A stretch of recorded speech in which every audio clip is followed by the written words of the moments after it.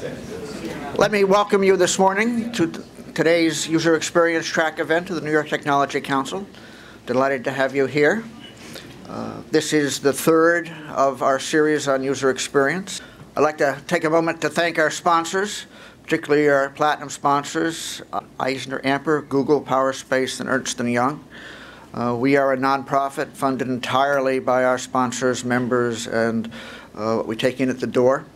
And so uh, we appreciate all of your support. And so with that, let me turn it over to Charles Mauro. Charles uh, runs the user experience track, and uh, we're very grateful for the great panels he's been putting together for us. Thank you. Thank you. Thanks, Eric. Uh, Thanks, everyone, for coming out this morning. This is the first time we've done a uh, early morning session, um, and we're actually going to be, um, uh, our next session will be an evening session, uh, and then we have a, uh, probably a full-day session planned for the fall, uh, which should be, uh, I think, very interesting. Okay, so a little bit about today's session. Uh, The schedule, we're going to have a brief introduction. That's what we're in now. Um, Our first presentation is by Bill Albert. We'll have a copy, uh, coffee break after the first. Then we'll, be followed by Marc Resnick. And then questions and comments, sort of an informal panel discussion at the end to go over these topics.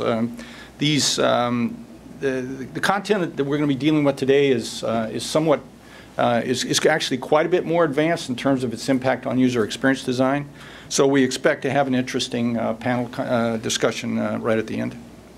So we'll wrap up right around 11:30, uh, and you'll receive a follow-up survey in the email. Please fill out that survey. It helps us a great deal, uh, especially with respect to uh, the acceptability of these morning sessions. Okay, so a very uh, quick uh, run here on the genesis of the topic uh, today. Um, About a year ago, I was asked by Eric to uh, put together this UX series for uh, the uh, Tech Council here in New York. And uh, the idea that I put forth with the board was um, a series of sessions that would be, um, that would represent sort of a deeper look into the uh, science and the uh, development of UX uh, as a professional discipline. And so over the, uh, these first three sessions, uh, we've covered, um, uh, the first one was uh, on intellectual property. I don't know how many of you attended that session. Uh, It turned out to be a great session. We had leading IP attorneys from Chicago and New York uh, talking about protecting your UX. Then we did a session last month on judging UX. We have an excellent video up on YouTube discussing specific methodologies around user testing. This relates mostly to what this first, or the last session was uh, dealt with, what you can observe from the standpoint of uh, uh, observing uh, users interacting with a system from a research point of view.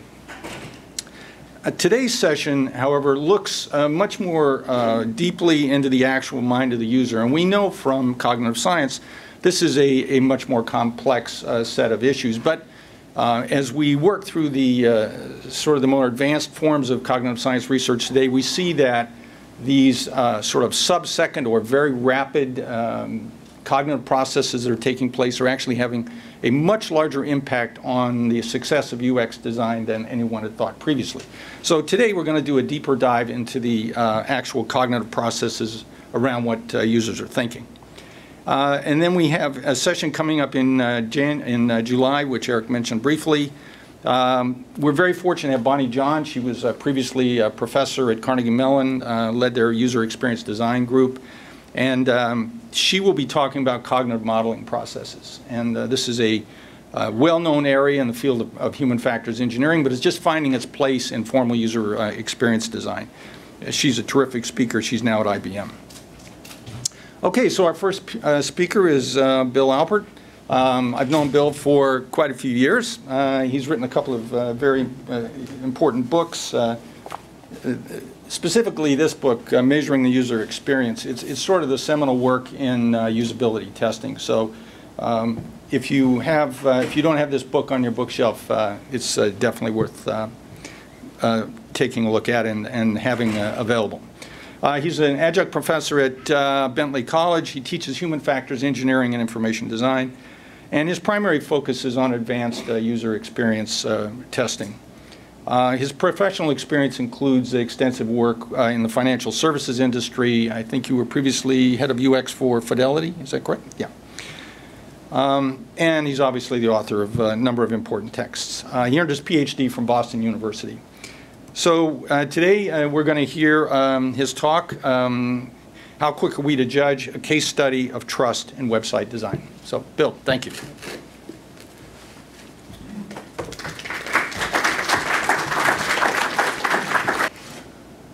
All right, well, um, a, few thank yous. Um, thanks to NYTech for uh, inviting me here, to Charles uh, for setting all this up, uh, and all of you for, for coming this morning.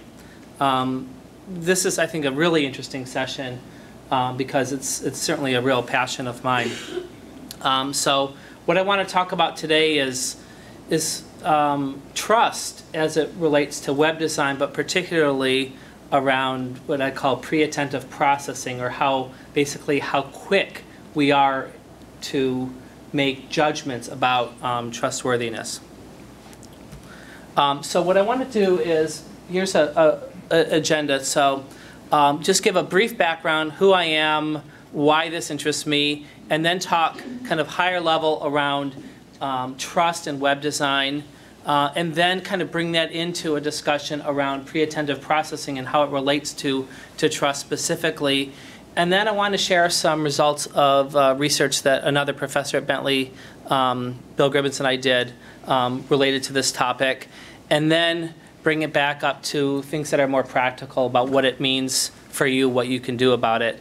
Um, and then have a, a discussion for the, about the last 15 minutes or so.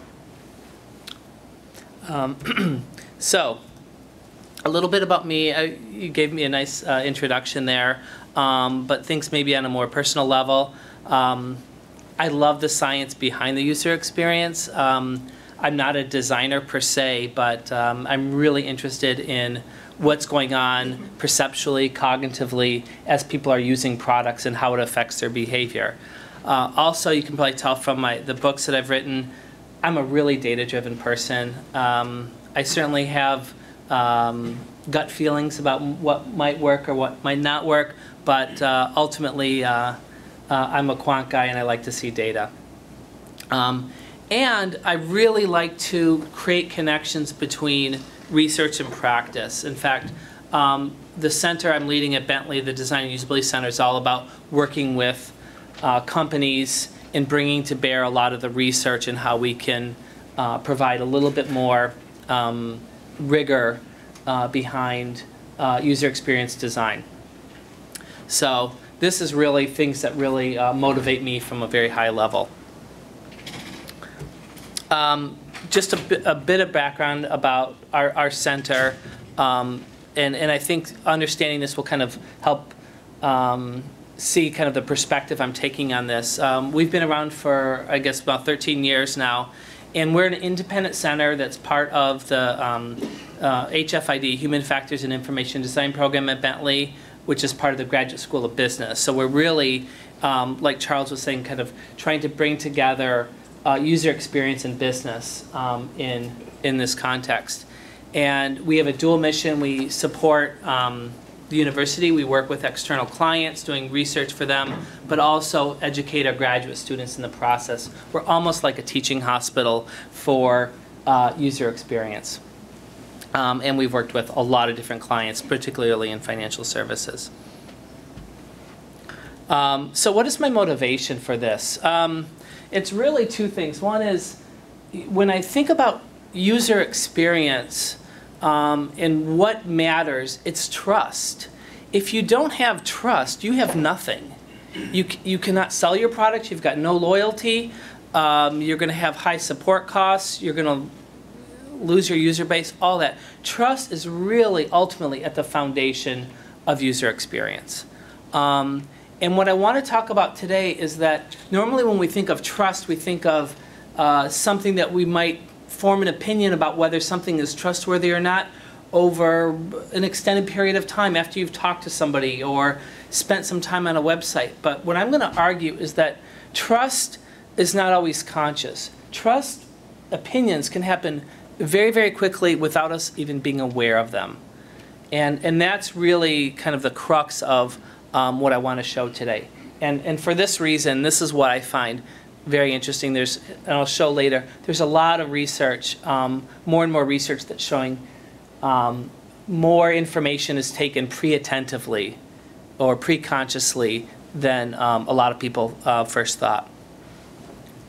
So, um, trust in web design.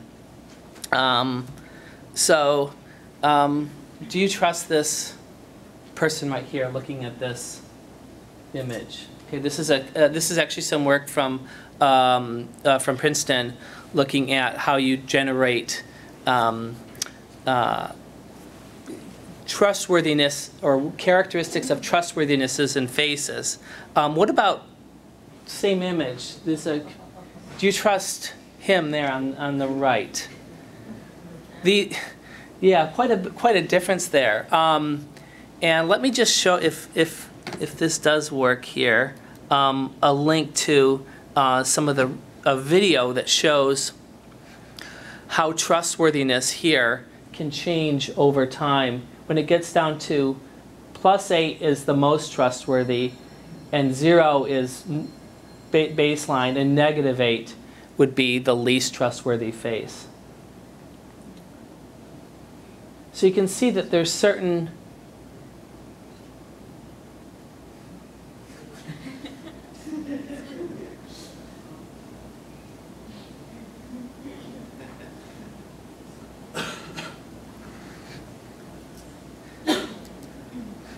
some really interesting research. Specifically, what are the what are the different elements? You can see um, certainly the curvature of um, the mouth, the the eyebrows, the no, the shape of the nose is a little bit different.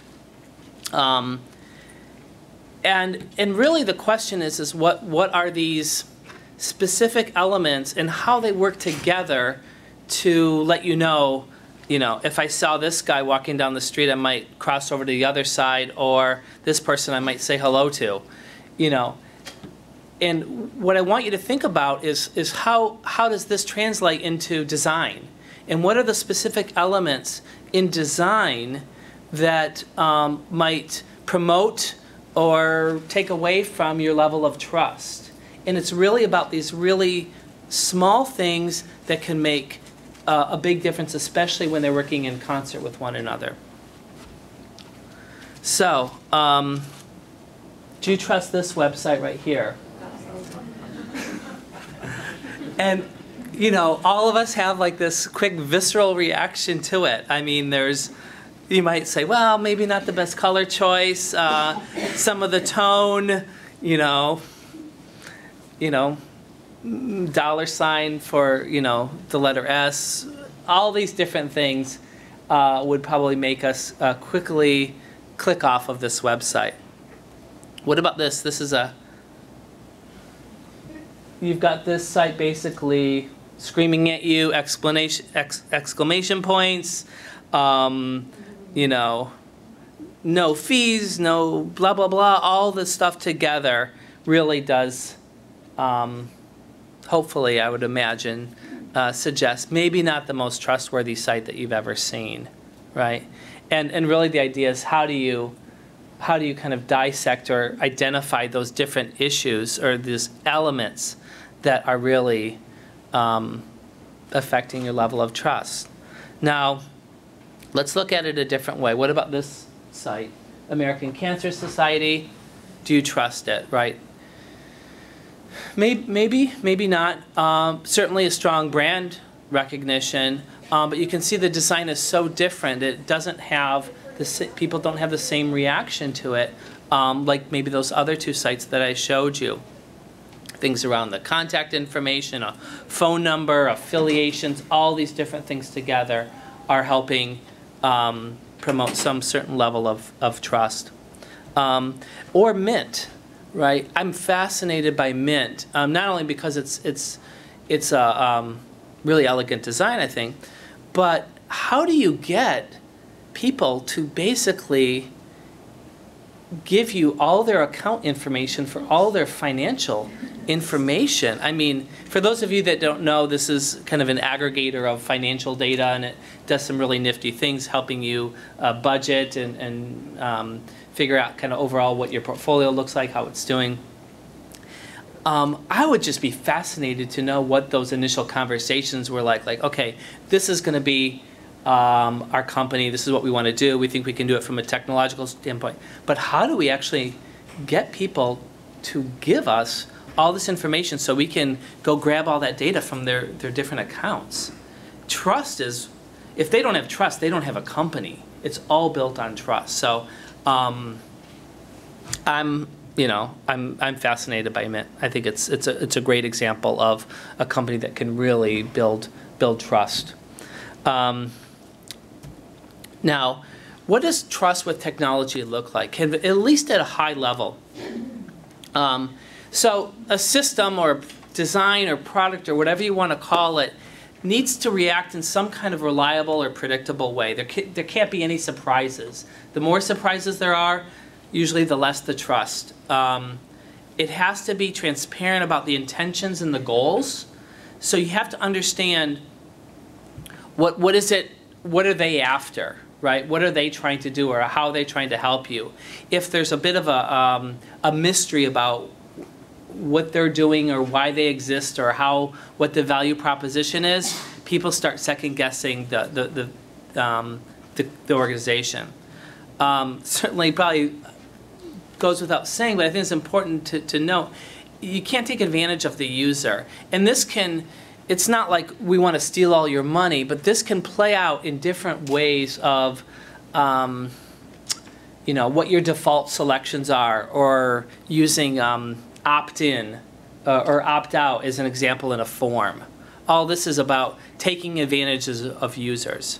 Um, it needs to be truthful, needs to deliver promises. So if you're through your SEO or SEM efforts, you're trying to bring people to your site, um, you need to deliver whatever it is that you're you're saying you're marketing.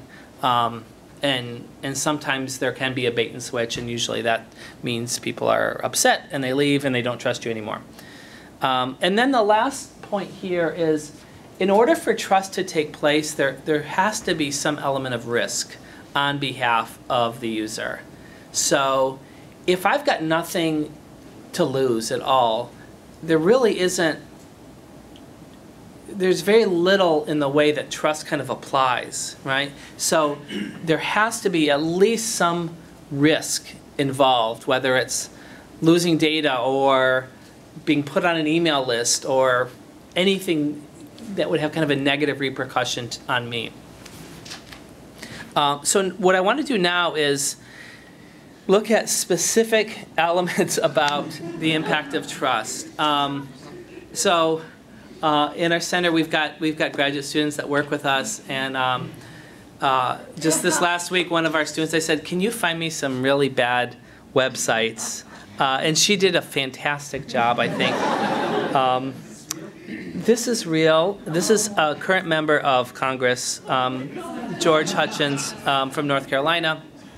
Um, yeah, so. Um, yeah, so okay. There's different um, elements of trust, and I've kind of dissected it down to what I think are kind of 10 really important pieces.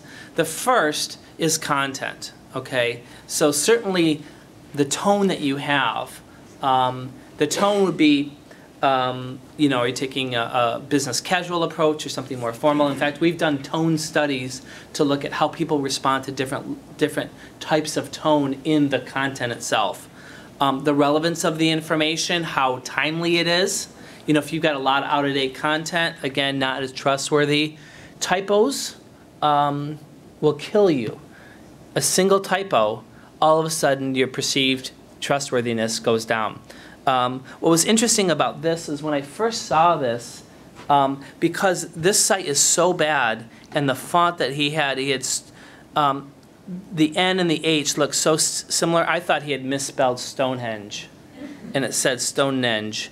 And I was like, oh my God, how did how did he get away with that? But once I I looked at it again, I thought, okay, he did spell it correctly, but even the perception of a typo, I guess, can hurt you.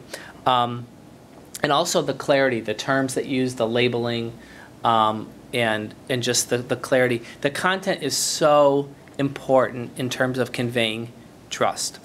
Um, consistency. Um, and I look at consistency on two levels. The visual consistency, uh, th- this is a great example of a site that may not be so visually consistent. Um, and the interactions, so how navigation works or how forms work. Any kind of the interaction about how the user is interacting with the website needs to work in a consistent, very predictable way. Uh, color. Um, and this is actually, um, you'll see later, is, is a really important element in trust, particularly with um, certain, in certain industries. People have expectations, having a, uh, purple text on um, a black background, maybe not the best color palette choice, um, but certainly color in of just itself has um, a big impact. Um, and the layout, how the site, how a page is laid out, uh, in terms of the density of information. If I can just, you're only seeing one small piece of this website, so you can see. Um,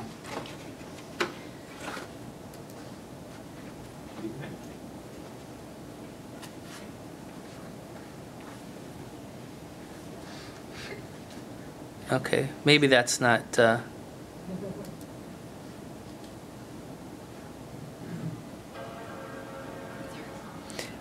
it's, it's a, okay, it's a long, long, horrible site. Uh, And, and the amount of white space is so, it's so limited. Um, It's just, you're gonna have to look at something pleasant after that. Um, ju- Just politics aside, just the site is. Um, So, some other elements that impact trust. Um, Specific design elements, the buttons, links, the calls to action. Are you using standard conventions? Are you trying to be really cute? Are you trying to um, uh, scream at the people through the, the treatment of, of visual treatment of specific buttons or links? Um, the images that you're using, are they um, well placed or are they gratuitous? Do you need them or don't you need them? Um, and certainly, all the things around the visual treatment of the design elements has, um, has an impact. Um, the sixth point is around changing behavior. So people like to think that they are, you know, they have free will about what they click on, and sometimes sites will try to steer behavior in a certain direction. Um, things like default selections. Um, are you putting people into a higher bracket when they're buying something and they need to opt out of it, or signing them up for a newsletter and they have to uncheck it, they have to opt out. Um, and visual prominence, are you really trying to steer people through, you know, whether it's making something really prominent or even uh, de-emphasizing important information. So it's all about, are you trying to manipulate behavior in a somewhat deceptive way that can really undermine trust very quickly? Um, ads, um, certainly the type of ad, especially animated ads. Um, you know, just from a, a perceptual cognitive point of view, we, we can't, as humans, we can't um, not look at something that's moving. That's how we're hardwired. And when you have something animated, you're forcing attention there. It works from an eyeball standpoint, but it can really undermine not only satisfaction with the site, but also trust. So that has to be done very carefully. The location, the content of the ads as well. Um, and this is also a great, um, go to lingscars.com if you want to see uh, an absolutely over-the-top uh, website. Um, and then the last three elements that really impact trust. Um, contact information, so having the clarity of information, um, really being able to understand it quickly, the ease of use, being able to um, easily find information and the comprehensiveness of it, not just showing uh, an email address, but sometimes having a phone number. Knowing who to contact is huge. If, if you're trying to hide who you are and there's just a P.O. box, that's not always so good. Um, the ninth point is around community. Uh, it's really important to, in order to build trust, is to show how your your site or your organization fits into a larger community, and this would be done through real photos, uh, not just a series of stock images like what's over on the right. Um, um, testimonials from real users that are not always five star, um, and seeing affiliations, seeing who who also backs up the site. And um, in fact, the, the screenshot on the right here is, is something that um, uh, our group participated in a few weeks ago called the Boston Biz Lab. I didn't know anything about us. They invited us to this conference in Boston to talk about, um, or to give demonstrations around eye tracking. And it was through kind of a loose connection.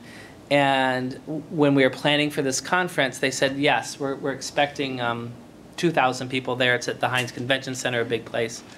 Okay, yeah, we'll go there. We'll give eye tracking demos. Won't cost us anything. It's local. Um, I didn't hear anything. It seemed very poorly organized. And they said, no, we've got a thousand people registered. Okay, that's great. We show up on the day, and um, there's 35 people at this conference. And there was so much about, I probably should have trusted my gut, but even their website with, you know, stock images, very little content. Um, and I was just shocked. I I was not the only upset one.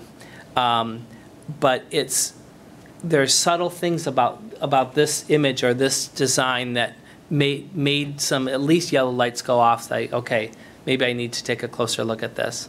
Um, and then the last point is around logo brand company is also um, certainly really important. And that it's called kind of more uh, the reputation that a company has kind of beyond their technology. But you see American Cancer Society, okay, yeah, they're well established, but maybe not Boston Biz Lab, for example.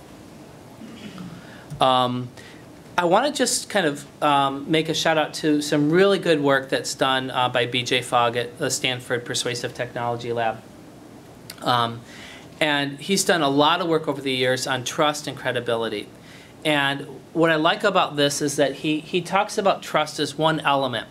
Um, in fact, he talks about trustworthiness plus expertise is equal to credibility. So trustworthiness, all those things are basically is the site or the system working kind of are they benevolent? Are they working in my best interest?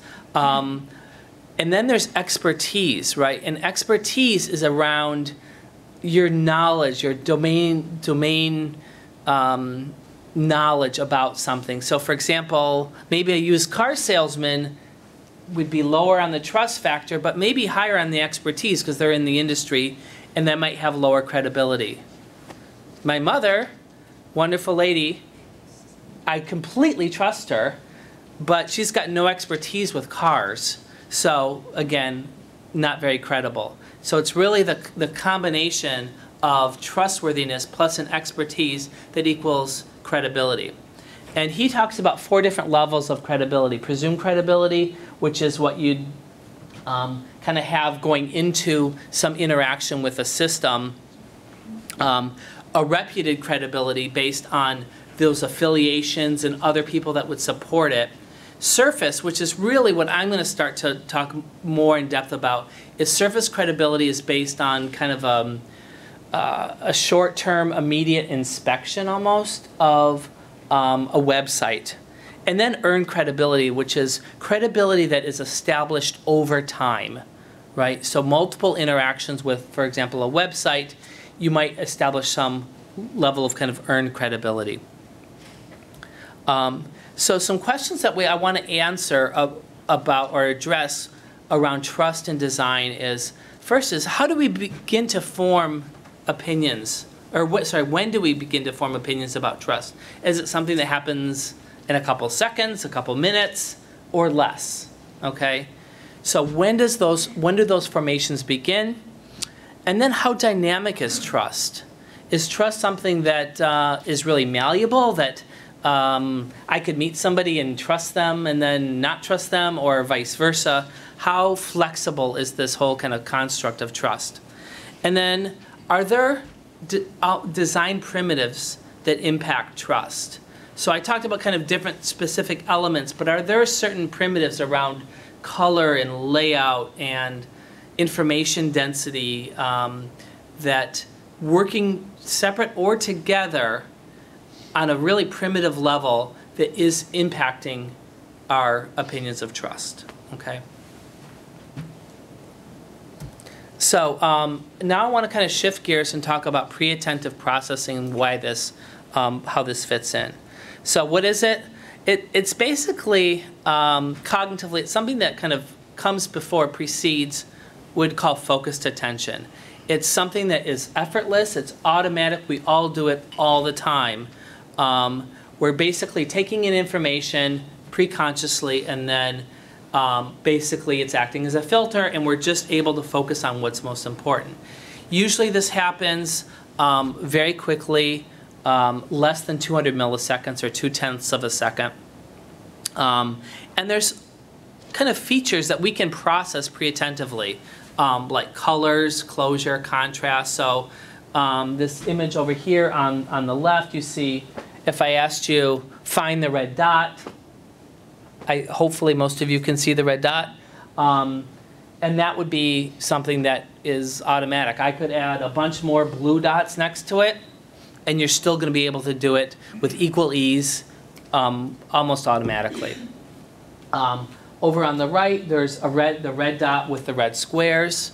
That takes a little longer. That's an, probably an example of um, something that is more effortful, that isn't pre-attentive, right? And it's really around the um, the relationship between the circle and the square. I could make that circle way bigger, and it's going to pop for you. It's going to become uh, an automatic process.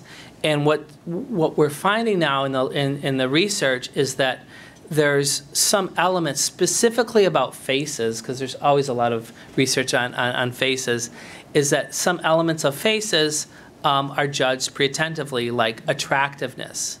So you can see faces for 50 milliseconds, one twentieth of a second, and be able to judge the attractiveness of it um, or the trustworthiness of a face, like what I showed you. Uh, and I just found a paper this past weekend on so- sexual orientation of men. They showed in this study um, um, images of men who, um, and people had to guess uh, their sexual orientation or one twentieth, one twentieth of a second is almost a flash of light. You you can't pick out any particular element, and people were better better than chance at doing it in one one twentieth or fifty milliseconds. So there's certainly there's there's elements around faces that people are gathering, and if you think about it from an evolutionary standpoint, it kind of makes sense. We need to very quickly and hardwired decide, you know, is this person friend or foe, or how, how do I how do I rate relate to this person very very quickly, just for for a variety of reasons. Um, so the the work that we actually based our work off of, or at least really largely informed, was um, work done by uh, Gitte Lindgaard and, and her colleagues at Carleton University in Ottawa. And they wanted to know, um, could people judge the attractiveness, visual appeal of websites pre-attentively, right? Or how long does it take to form an opinion about visual appeal? Um, and here's um, an example of a very poorly designed uh, website that you'd think would score very low on visual appeal. Here is another one that scored very low on visual appeal. Um, here's one that actually scored higher on visual appeal, and here's another one that scored higher as well. So um, let me tell you about what they did and why this is important. Um, they ran a series of experiments um, where they would show um, different web pages to their participants. Experiment one, people judged the attractiveness of 100 different web pages, some more visually appealing, some less visually appealing, and they judged it in two phases, but they had a half a second to judge each, and they found that people were very consistent. The data were highly correlated in how they were judging um, um, the web pages in two different phases. Okay, not very surprising. A half a second seemed to be plenty of time to decide whether something was attractive or visually appealing or not. Um, then what they did in experiment two is that they they took out isolated 50, 50 of those 100 that were most and least visually appealing and they also wanted to look at other dimensions of visual attractiveness like um, whether it was boring or interesting or um, uh, good use of color, bad use of color, different different aspects. Um, and then they ran the same thing, and they, they found the same result that people were very consistent in how they were judging the um, attractiveness at 500 milliseconds. Uh, and then experiment three, which is really the crux of it, is they put people in two different groups. They put people into a five, 50 millisecond or 500 millisecond group. Um, and they found that people in both groups were equally consistent about how they rated the pages uh, between one phase and another phase. So, in other words, even at 50 milliseconds, they were judging the attractiveness. They got something almost from a flash of light, whether it was visually appealing or not, just like the people in the 500 or half a second condition. Um, so, what they conclude is that people can form reliable, consistent opinions about the visual appeal only after a very, very brief exposure to it. There's something that happens very, very quickly where you can tell good, bad, good, bad. Um, and this is really, again, the foundation of kind of how we built out our, our research. So, what did we do? Um, so, again, this is based on uh, um, uh, a paper that uh, Bill Gribbons and I did uh, a couple years ago uh, that we presented, uh, published with uh, uh, HFES, Human Factors Ergonomic Society. And our question was Does trust form on a pre attentive level? Can people judge or form an opinion about trust pre attentively? Um, we saw that Lindgaard showed visual appeal can, but what about trust? Uh, normally, we think about trust as something that happens over the longer term. Um, we had 72 people in our study, and we did it uh, online using a tool, and we had people um, uh, in the US and a few other countries. And we compensated people, and it, we got the data. And we wanted to look at um, specifically financial and healthcare websites. And unlike Lindgaard, who basically took a wide variety of websites, we wanted to take the top 25 financial services and the top 25 healthcare websites. So these are all Fortune 500, Fortune 1000 companies um, that you would think would have um, uh, at least uh, a certain amount of resources to, to professionally design their sites. And certainly financial healthcare are built on trust, right? Um, and that's why we took those, those domains. Um, in our study, we had, um, um of those uh, 50 websites, each person um, rated trust on uh, the same screenshot in two different trials. So they'd go through 50 and they'd be rating the trust, and then they'd see the other, the, the same 50 again randomized um, in a second trial. And this is what it looked like from a procedural point of view. So they would see a screenshot for 50 milliseconds. Again, just a, almost just more than a flash of light. Then they would get a mask. A mask is basically uh, black and white static because we want to make sure that we weren't measuring their um, uh, kind of carryover effect in the image in their mind. We wanted to kind of wipe that out. Um, they would have a blank screen for a second, and then they would have a test assessment, and they could have up to 10 seconds to rate the trustworthiness of that. And we'd say, and this was kind of a challenging thing to get across, just as a gut feel, rate your trust, your, your trustworthiness of this site, right?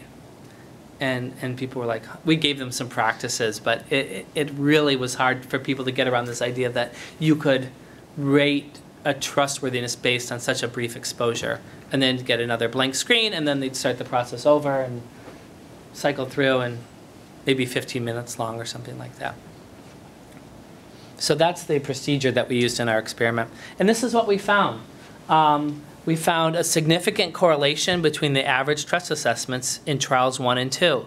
So um, each of those dots represents one of the 100 websites that we tested. And you can see some, some sites down here. Um, um, on trial one scored low, um, and trial two they scored low. And generally, uh, you can see a, a really nice um, uh, correlation um, with those websites. In other words, people were being really consistent about how they were um, judging trust from one to another. They couldn't even recognize the site.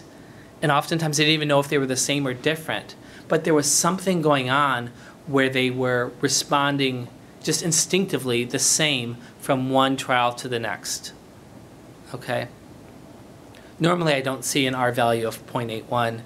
And in social studies, but, or social sciences, it's, it's um, very, very high, very high. So we were really um, thrilled about this. Um, um, and we wanted to look at it by participant. So we had um,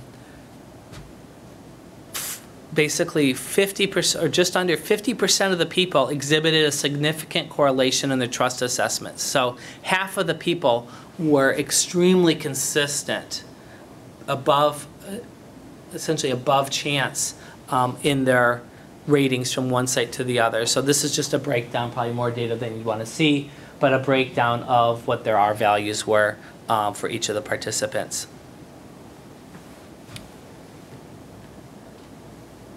Um, we ran a second experiment because we were we were wondering, well, maybe people just started getting bored with the study and they because this is all online, they started clicking five, I trust it, I trust it, I trust it, in which case the data is going to come out highly correlated, um, even though, but we did see that spread. We're like, huh, um, let's just be able to control for that, that what we'd call satisficing behavior.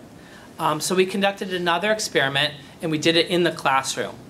Um, so we used the same exact procedure as experiment one, and we had 11 people, all grad students um, at Bentley, and found a very similar pattern of results um, a significant correlation in the trust assessments between trials one and two. Um, so you can see generally a really nice um, pattern there and found specifically seven out of the 11 people um, there exhibited a significant correlation in their trust assessments. So not everybody, but at least a majority of people seem to be very consistent to be able to to judge or perceive trustworthiness on a pre-attentive level. Um, so just a summary, again, individuals are capable of processing trust on a pre-attentive level. Approximately a half in, in experiment one, two-thirds in experiment two were very consistent. Um, and very significant correlation between trust in the first and the second trials when we even average across all the participants in the study. And this leads us to conclude that the preconscious mind probably plays a larger role in how sites are judged than previously believed. All the things that you'd look at trust are always on the conscious level around just how much time, um, you know, about interacting with a site for a minute or five minutes or several visits, right? No one had looked at it before on a pre-attentive level. Um, so this is really just the, the first phase in our research um, because there's some really interesting follow-up work that we want to do with this.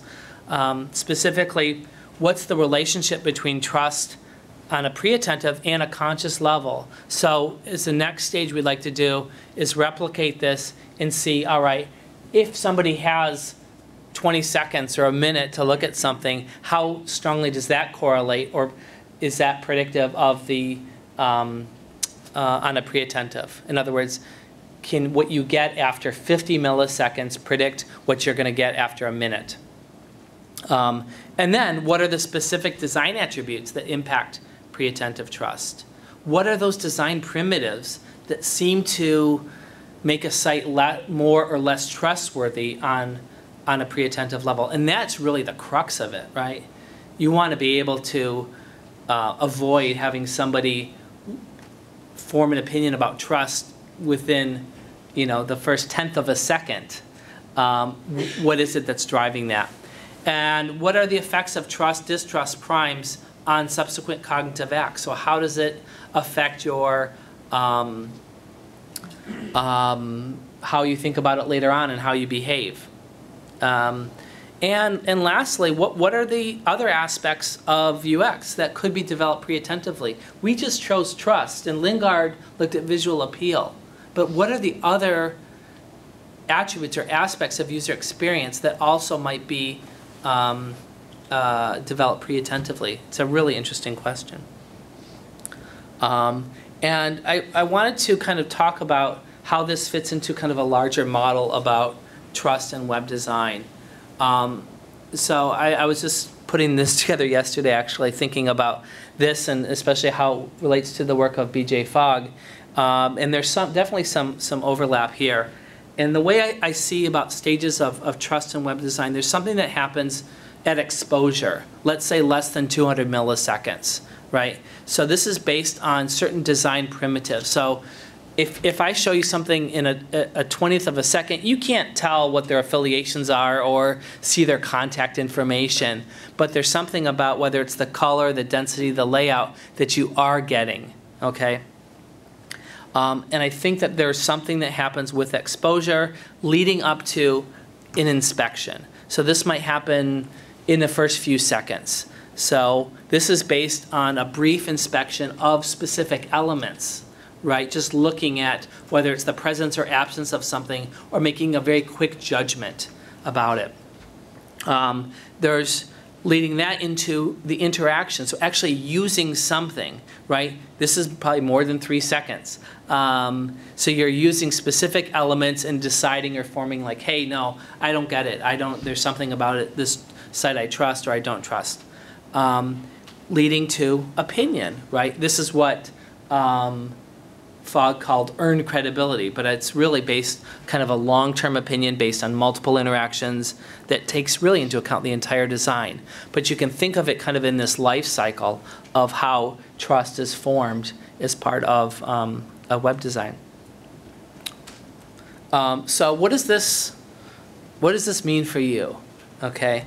Um, first off, this is I was debating whether to put this slide in there because it seems so obvious to me, but why, why does trust matter? Um, it's really the key element in design that impacts both short-term and long-term behaviors and perceptions of your, your site, your company, et cetera.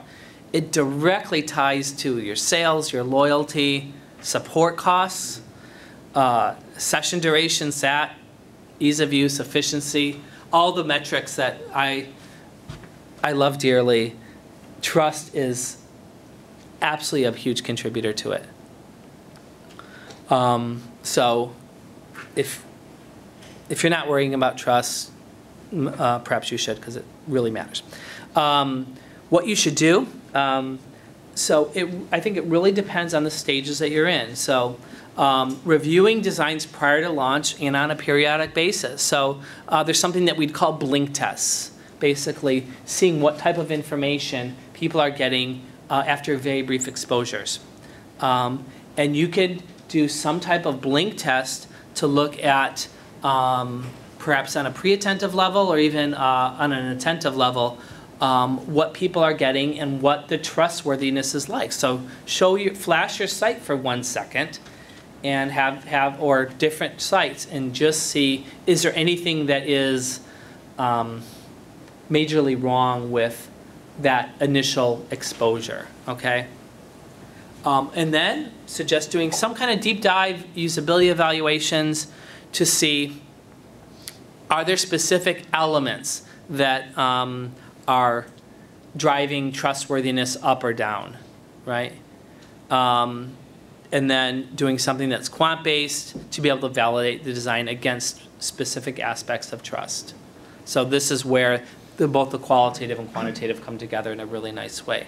And then um, try to, is it, whether you're, you're a researcher or a designer or, or what have you, is try to look at the design as a dialogue with the user. So, you know, the way I, I see it is, you know, when I go to a website I've never been to, it's like meeting a stranger. And if the very first thing they do is they ask me, um, hi, can I have your money? Or you know, I'm going to be put off. But it's it's it's a dialogue. It's a relationship that you're building, and and try to think of it in, in social terms. I think will will really um, um, help give you really important insight into um, what um, what the right design should be.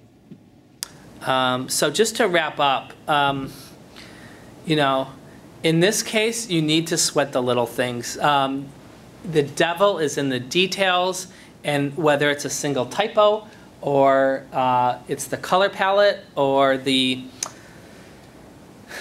how difficult it is to find the contact information, all these little things do make a big difference. I see it time and time again. That's why we have A-B testing. That's why we do user research.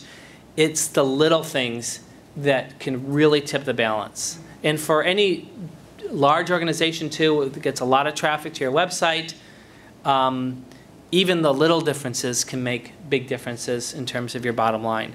So um, oftentimes it's very easy to miss those little things.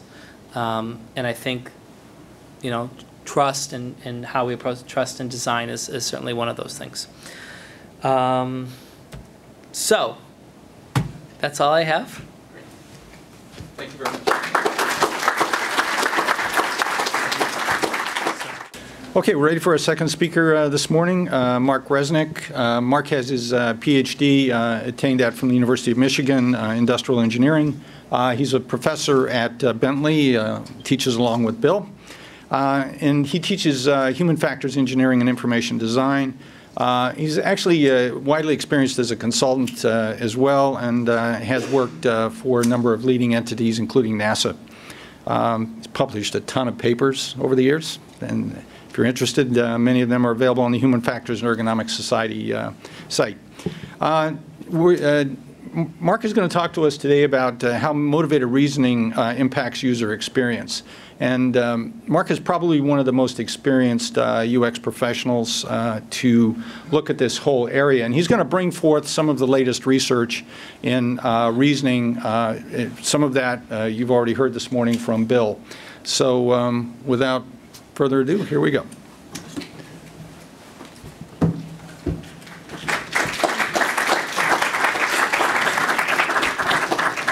Good morning. Thank you all for coming. Um, you know, Bill, Bill's talk uh, realizes that I had a lot of pressure on me because 50 milliseconds have already gone by. You've already decided if you're going to like my talk or not. I'm done. Let's all go have another cup of coffee.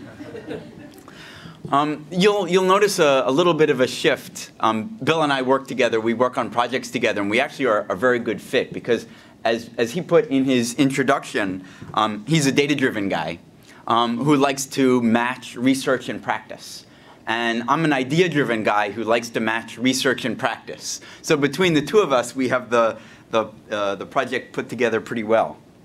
Um, and just as he started his talk by finding his deck, let me see if I can do the same.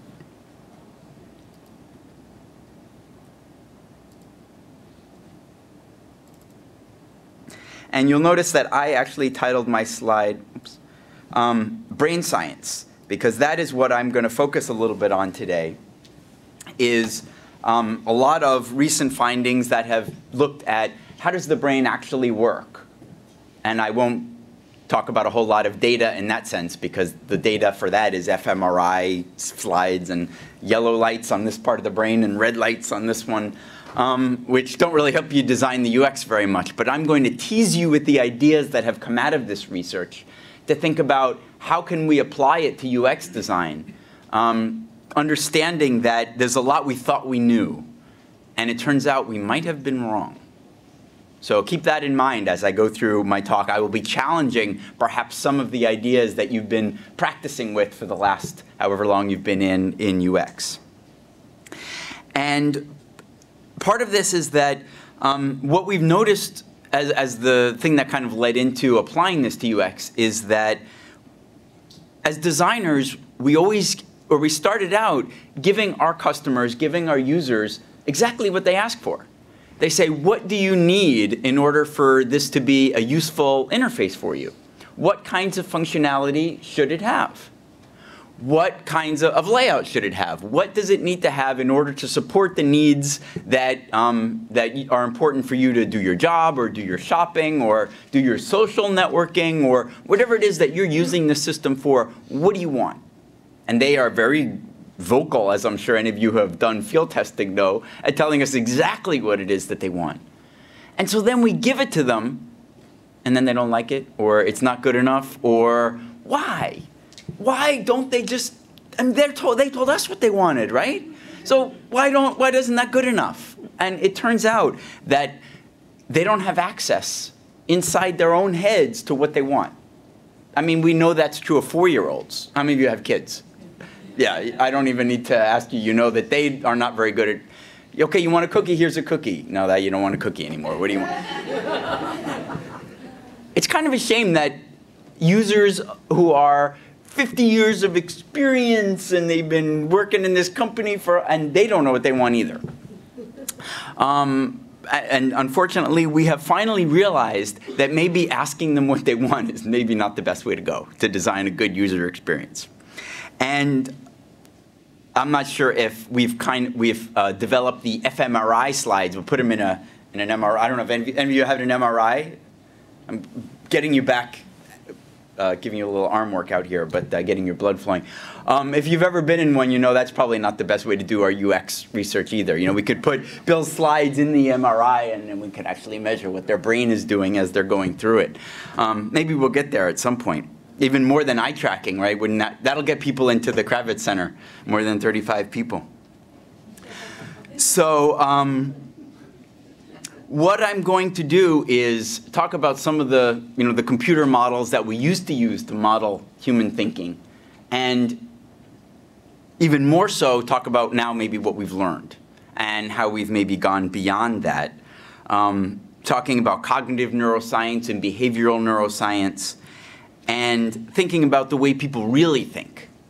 And the real fundamental difference that I think we finally sunk into our heads is that we didn't develop in modern society. Where did we develop?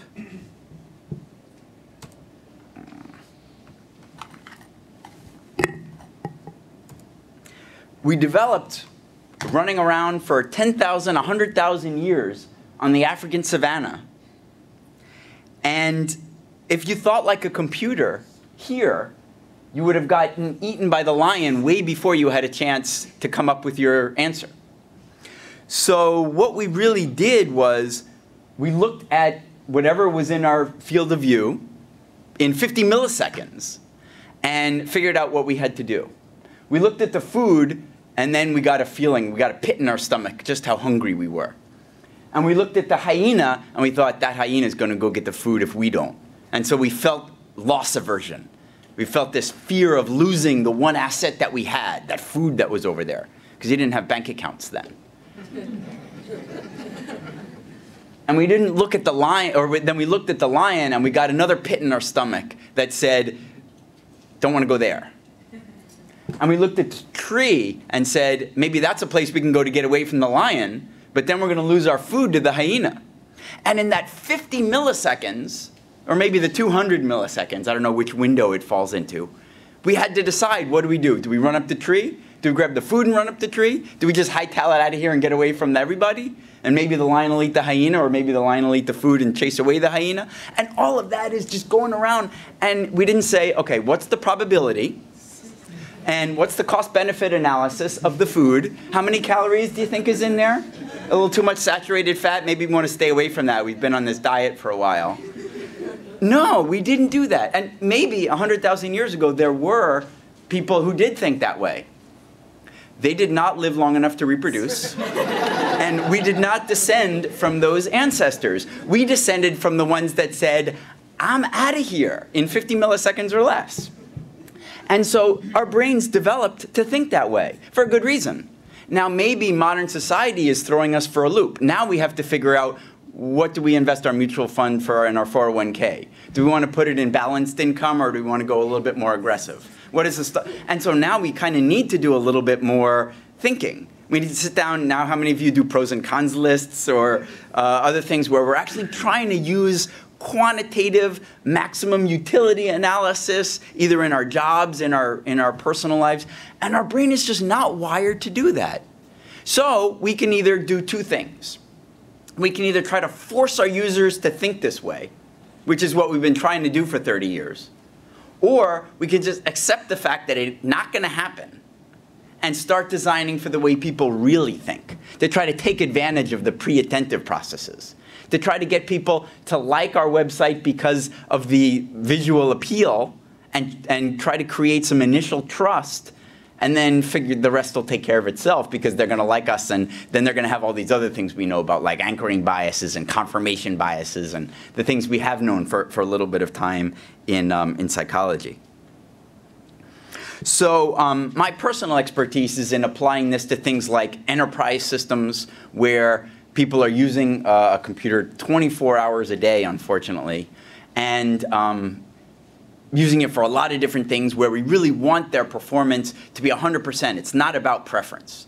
If you have a captive audience where they have to use your computer because that's what they use at work, you have to use, they have to use your system, it should be all about efficiency and productivity, but it's not. Um, and then also social networking, which is completely the opposite side, but also what people seem to be doing 24 hours a day now, which is how do we get people to trust someone on a social network that they've never met because they're a friend of a friend? Hmm. I don't trust my friend. Why would I trust the friend of a friend? Someone just asked, invited me to connect to them on LinkedIn.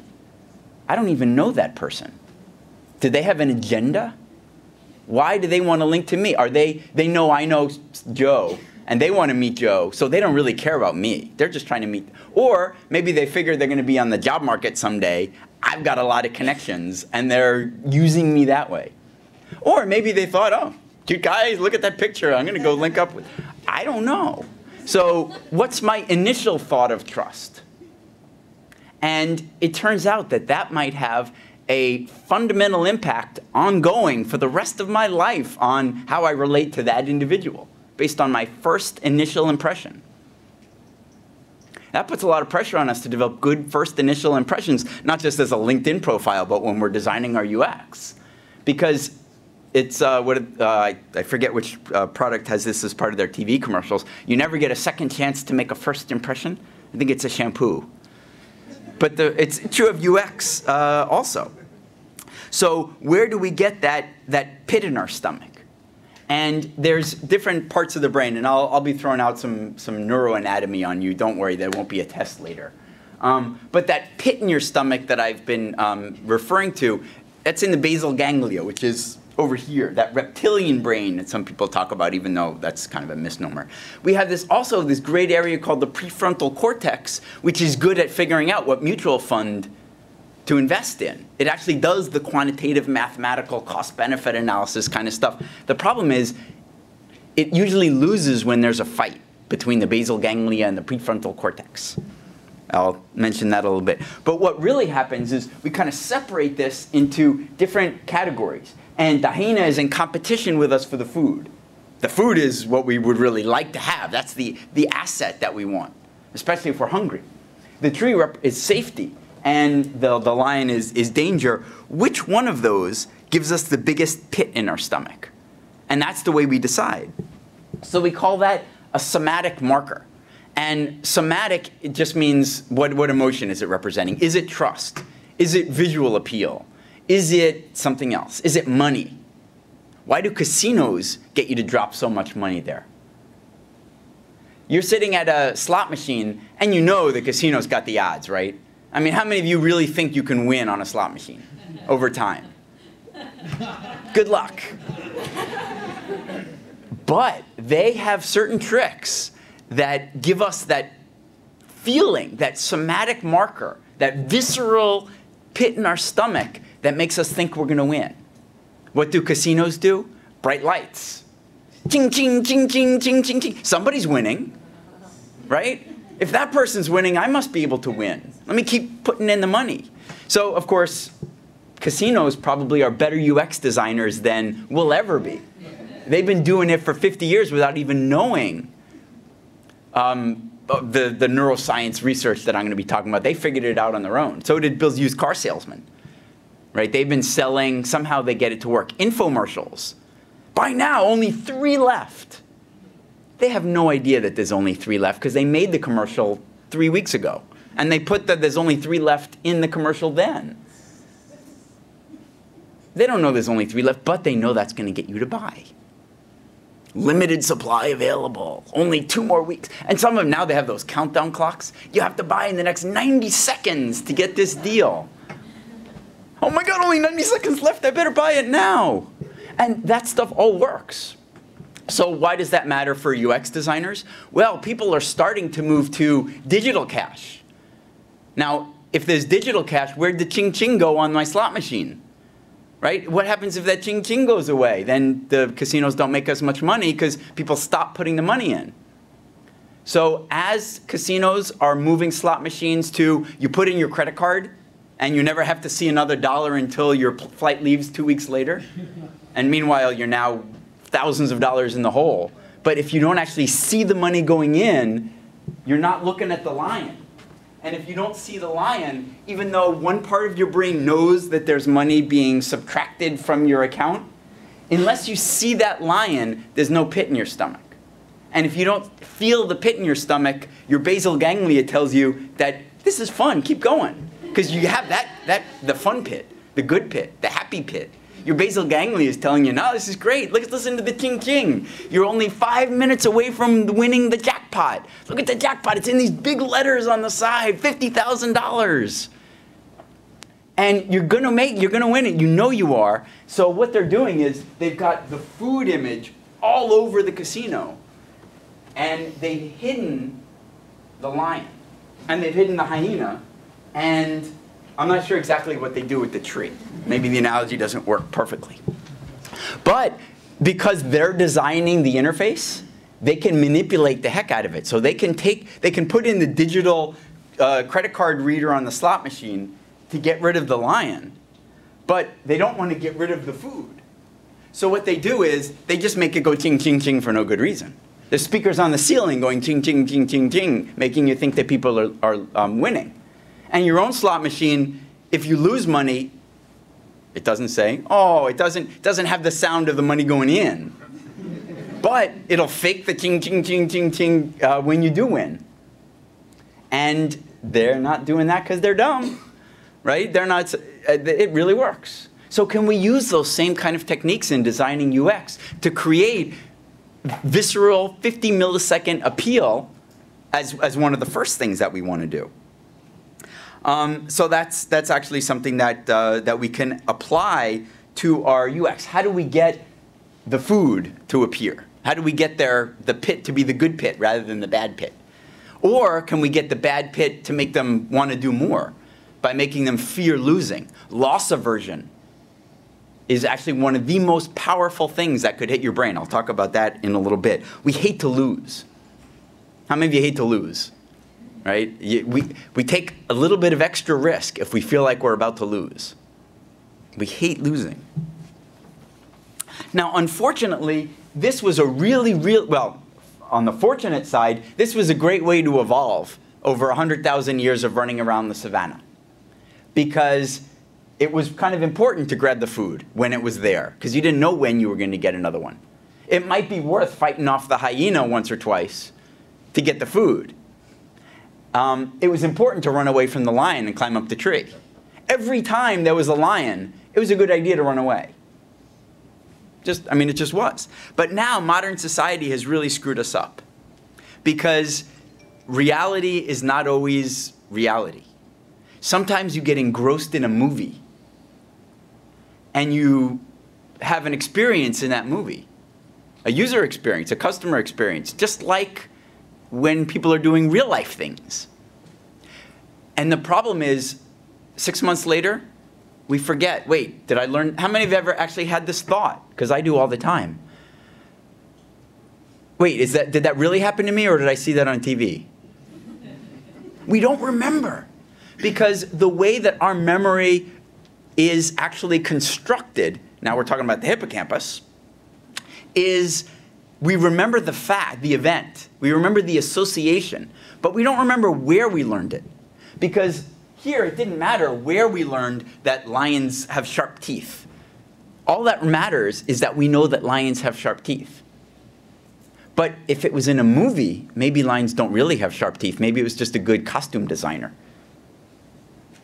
The problem is our brains didn't evolve to watch movies. Our brains evolved for real tigers.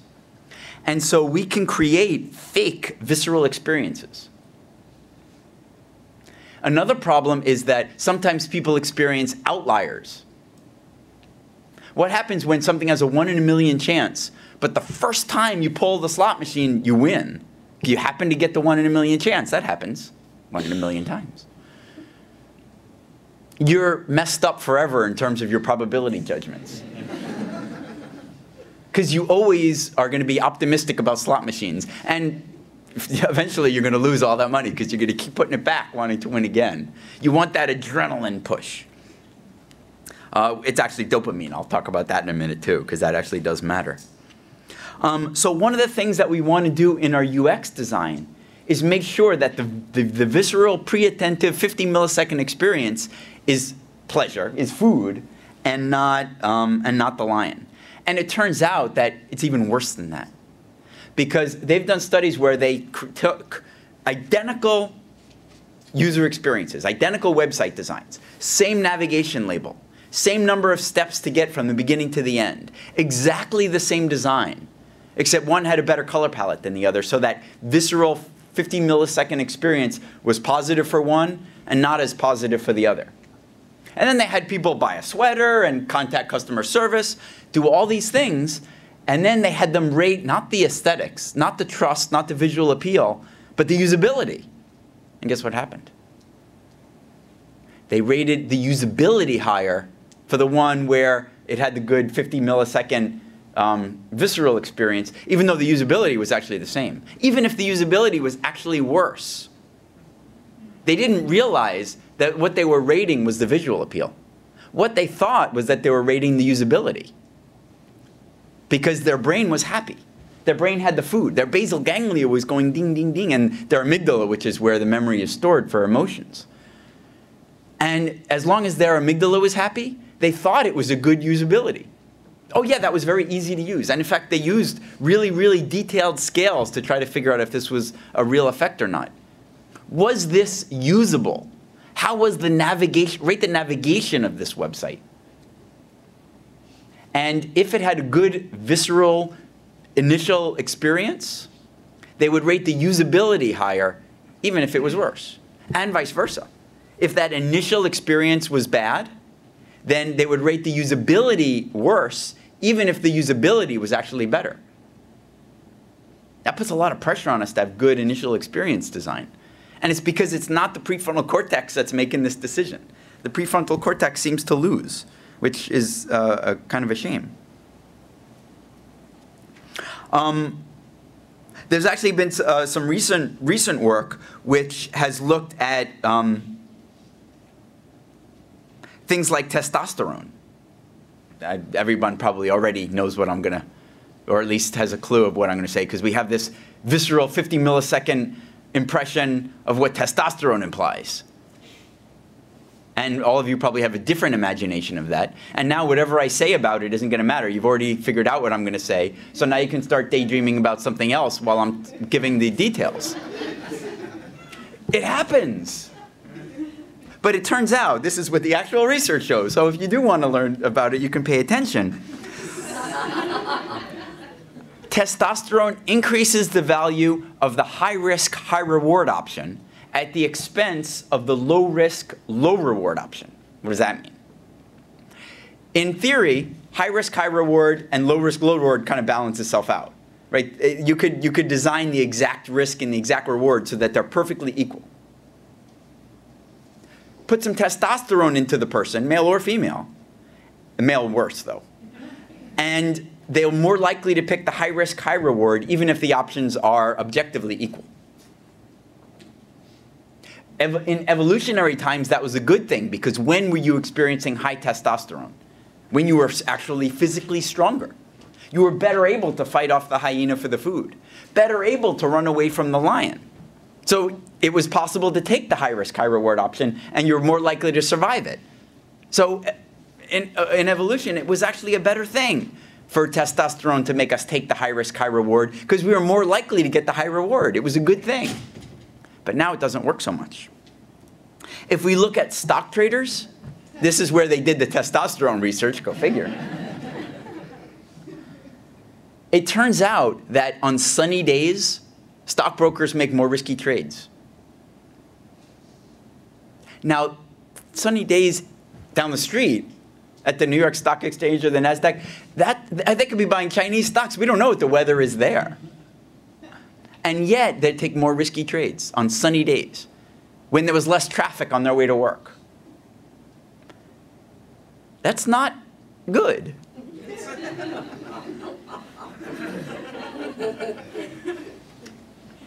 And in fact, the same thing happens on the opposite. When we have more cortisol, which is what we have when we're under stress, people don't take risky trades. But if there was traffic, or if you're having a fight with your kid before, you know, you can't wear that to school, they don't take as, uh, they take less risky trades. My 401k is on the line and they're taking less risky trades because they didn't want their kid to wear that uh, high cut shirt to, to school. I don't want that to affect my ability to retire someday, uh, but it does.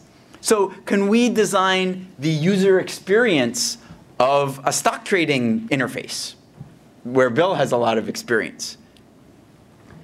Can we actually put in neutral images on the screen to try to get rid of the testosterone and get rid of the cortisol? Will that work?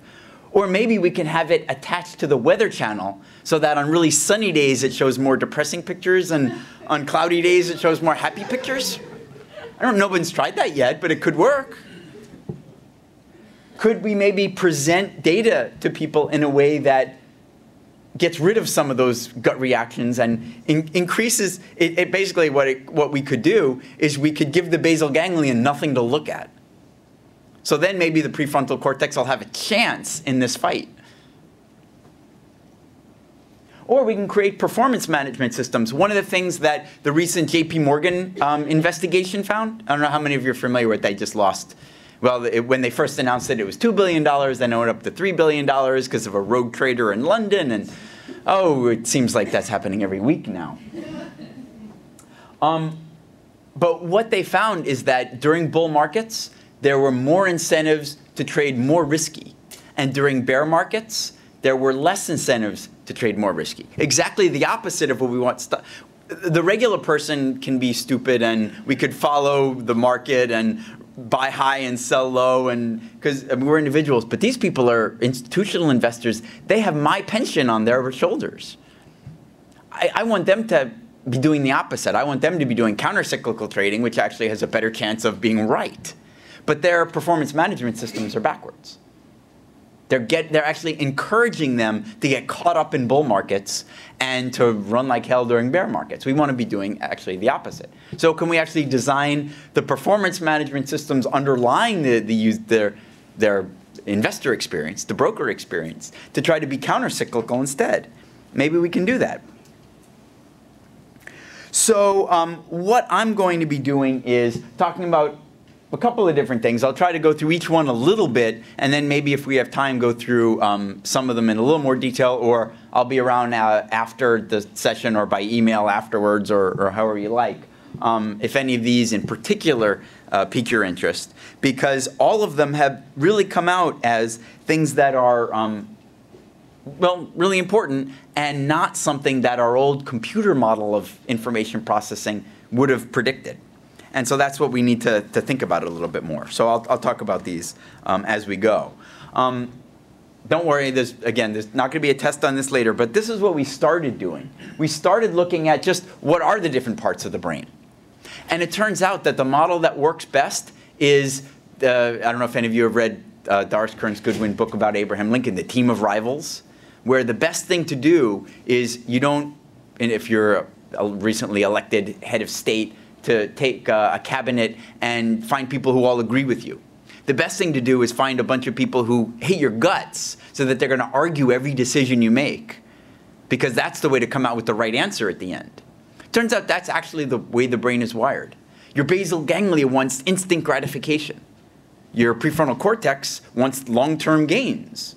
You're, and so if they're really fighting it out, if we can put them all in neutral ground, then we're more likely to come up with the best answer the get it, putting them in equal footing is, is the, the problem that we have. So that's kind of the first thing um, that we did. And then the next thing that we did was try to figure out how it actually works. What's getting active in different situations? There might be some decisions that we make where one part of the brain is more active than others. Well, is that a good thing or is that a bad thing? We want to maybe try to think about that um, what's turning on and what's turning off um, in different situations. So for example, there's a phenomenon called hypercorrection. Have you ever been in a situation you, where you realize that something you've been either pronouncing or spelling one way your whole life turns out to be wrong? That's a good way of remembering the pit in your stomach experience. Because the first thought that most people have there is not, okay, I need to learn the correct spelling so I can do well on my spelling test in third grade English. No, it's, oh my God, who knows? How many of my friends have been letting me spell that wrong my whole life or saying that wrong my whole life? They never told me. What did they think about me that I've been spelling potatoes with, uh, wasn't that the, the Dan Quayle uh, thing from a long time ago? Um, that embarrassment and that surprise is actually a really powerful influence on our cognition. That's not what a computer would do. I've never seen my computer blush. But it turns out that there's a whole big chunk in our brain um, that specifically gets activated because of that embarrassment. It's called the medial frontal gyrus, but you don't have to worry about that. But that actually winds up taking control of our. It's almost like if you have obsessive compulsive disorder for 10 minutes. Oh my God, I can't, I, you can't think of anything else. You're just worried about who knows that you've been pronouncing this wrong and how come they didn't tell you. And then, because that was so salient to you and it sucked up all the neurotransmitters into that part of your brain, you'll never forget that word ever again. And that's a great way to learn, really, because you will pronounce that word correctly or spell that word correctly for the rest of your life. Um, so that's why it's called hypercorrection. And one of the ways that we know how that works is uh, through functional imaging. We've also started thinking a little bit more about the impact of emotion on thinking. The way that we used to do cognitive and behavioral research was all right, emotion is just going to mess up our research. So the only way that we can do this correctly is if we put people in a basement, put blinders on, pick something that has no emotion in it whatsoever, like memorizing random four letter combinations that aren't actually a word. Memorize X, V, F, Z. And by taking all the emotion out of this process, we can figure out how cognition really works. Yeah, but how many of you ever have to memorize random sets of four letters that don't make up a word? Modern society, maybe we have to do that a little more than we used to. That's what passwords are supposed to be, right? That's what they tell us. Even though, what are our passwords really? Your dog's name. Why do we do that? Because we're not good at remembering random sets of four letters. So we use our dog's name because security or ease of use to remember our password, which one is more important? Well, it turns out security is actually more important, according to our prefrontal cortex. But they don't win the fight. Who wins the fight? It's our amygdala, which tells us that our dog's name is going to make our lives so much better until identity theft rolls around. Okay, so let's just pretend that's never going to happen. And then we can just use our dog's name for the rest of our life and have a nice, happy, healthy life. And it's easy to do that. We'll, uh, we'll talk about that, that later. That's what I call motivated reasoning. Just the name should tell you exactly what that means, right? Motivated reasoning. We don't decide what does the data say, and then what can we learn from that. What we say is what do we want the answer to be, and then how do we manipulate the data so that we proved it. And We'll uh, probably won't have time to talk about that in a whole lot of detail, but if you want to know some of the really, really fascinating results behind that, we do that in a remarkable number of situations. Voting for president, picking a spouse. I mean, the most important decisions you can make in the world, we don't do it based on the data. First, we decide what we want the answer to be, and then we figure out what data to look at in order to be confident that we're right and to feel good about our answer backwards. And you might say, well, we don't want people to think that way. Stop it. but we have a choice, as I said at the beginning. We can e either design our UXs to force people to think more logically, in which case we will lose, or we can try to at least mitigate the damage as much as possible, in which case at least we'll maybe have a little bit less damage. Um, the personal example for me was skiing in bad weather okay, I could get into an accident. I could get lost. You see on the news, you know, people who get into avalanches and all that kind of thing. But it's going to be fun. And loss aversion. I've already schlepped up to the ski lift. I've already spent all this money on my lift ticket and on my hotel and on the, the train or the plane or however I got there. So I don't want to waste all that money. I want to go skiing. I haven't been skiing in six months. I really want to go. So what are the chances that I'm actually going to get injured in the bad weather? Not going to happen to me. And it's amazing how we can how we can do that. So, but one of the one of the more fascinating studies. This was actually a long time ago. There was a, a patient who actually had a, a cognitive damage. He had a I think it was a rod in his head or a motorcycle accident where his emotional center of his brain was damaged, didn't work anymore. So they said, wow, this guy can be the most rational, best decision maker in the world. He should be able to do cost benefit analyses every time and figure out exactly what the expected return of this option is and the expected return of that option and make the best decision. I want this person running my pension fund. And so then they actually tested him to see how did this person make decisions and was he really better? And this is what happened. He was able to say, okay, um, if I make this choice, this could happen and this could happen. In my skiing example, I could hit a tree, probability of 0.4. I could get lost, probability of 0.1. Or I could not go skiing, in which case I lost this amount of money on my plane ticket and, uh, and I could get, go through the hassle of trying to get a refund from the airline or whatever. So I have all my choices well mapped out. I have my, pro, my pros and cons list perfectly designed. Okay, so which one do you do? I don't know. He was paralyzed by indecision. Paralyzed. Could not decide. Why? Because that's a value judgment. Where do we make value judgments? The emotional segment, which for him was broken. So he was really, really good at laying out the problem, but could not decide. So we need both. Emotion isn't a different kind of decision making. It's part of decision making. It's part of rational decision making. Rational decision making requires emotion as part of the process. And that's something that we used to try to separate, and now we're trying to integrate because in the real world, emotion is always there. The stockbroker, we don't want them to be using their emotion when deciding where to put my pension fund, but they do. And the person on Facebook, half the room, um, they're doing that too, probably even more, and, and, uh, and everything else. So these are really things that we need to start thinking about. And now we're really starting to get cool because now we've got these brain machine interfaces where we can actually have it go in both directions where we can have different things happen in a simulator and we can map out exactly what's going on in the person's brain. And now, and this is really recent, we can actually start taking what's going on in the brain, attaching that to the controls, and have people be able to manipulate the computer just by thinking. That's cool. I can't wait till they develop those interfaces. I'm not a hardware guy, but that's, that's some cool stuff. But at least on the inside, what we can do is we can say, okay, let's say you're driving down the highway 60 miles an hour because there's a lot of traffic.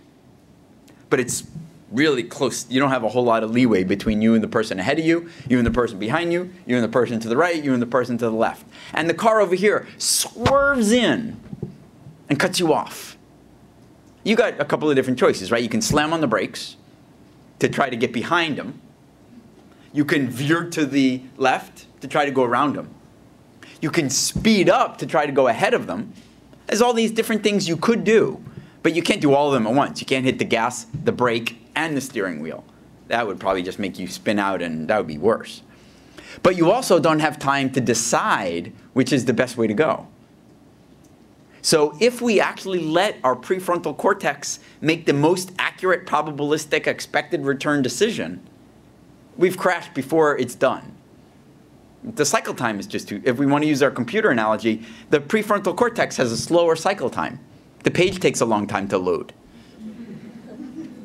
So we can't rely on that. So our emotional decision making actually saves our life when someone cuts us off on the highway. What gives us the best pit in the stomach reaction? Is it swerving? Is it hitting the brakes? Is it hitting the gas? And that's how we decide in that kind of situation. So making the optimal rational decision is being as emotional as possible. As contradictory as that sounds to us on the surface, turns out that's actually the truth. So we're really relying on those somatic markers that I mentioned earlier. What, what kind of pit in the stomach do we feel for each of the options? And we don't actually do a cost benefit analysis, we satisfice.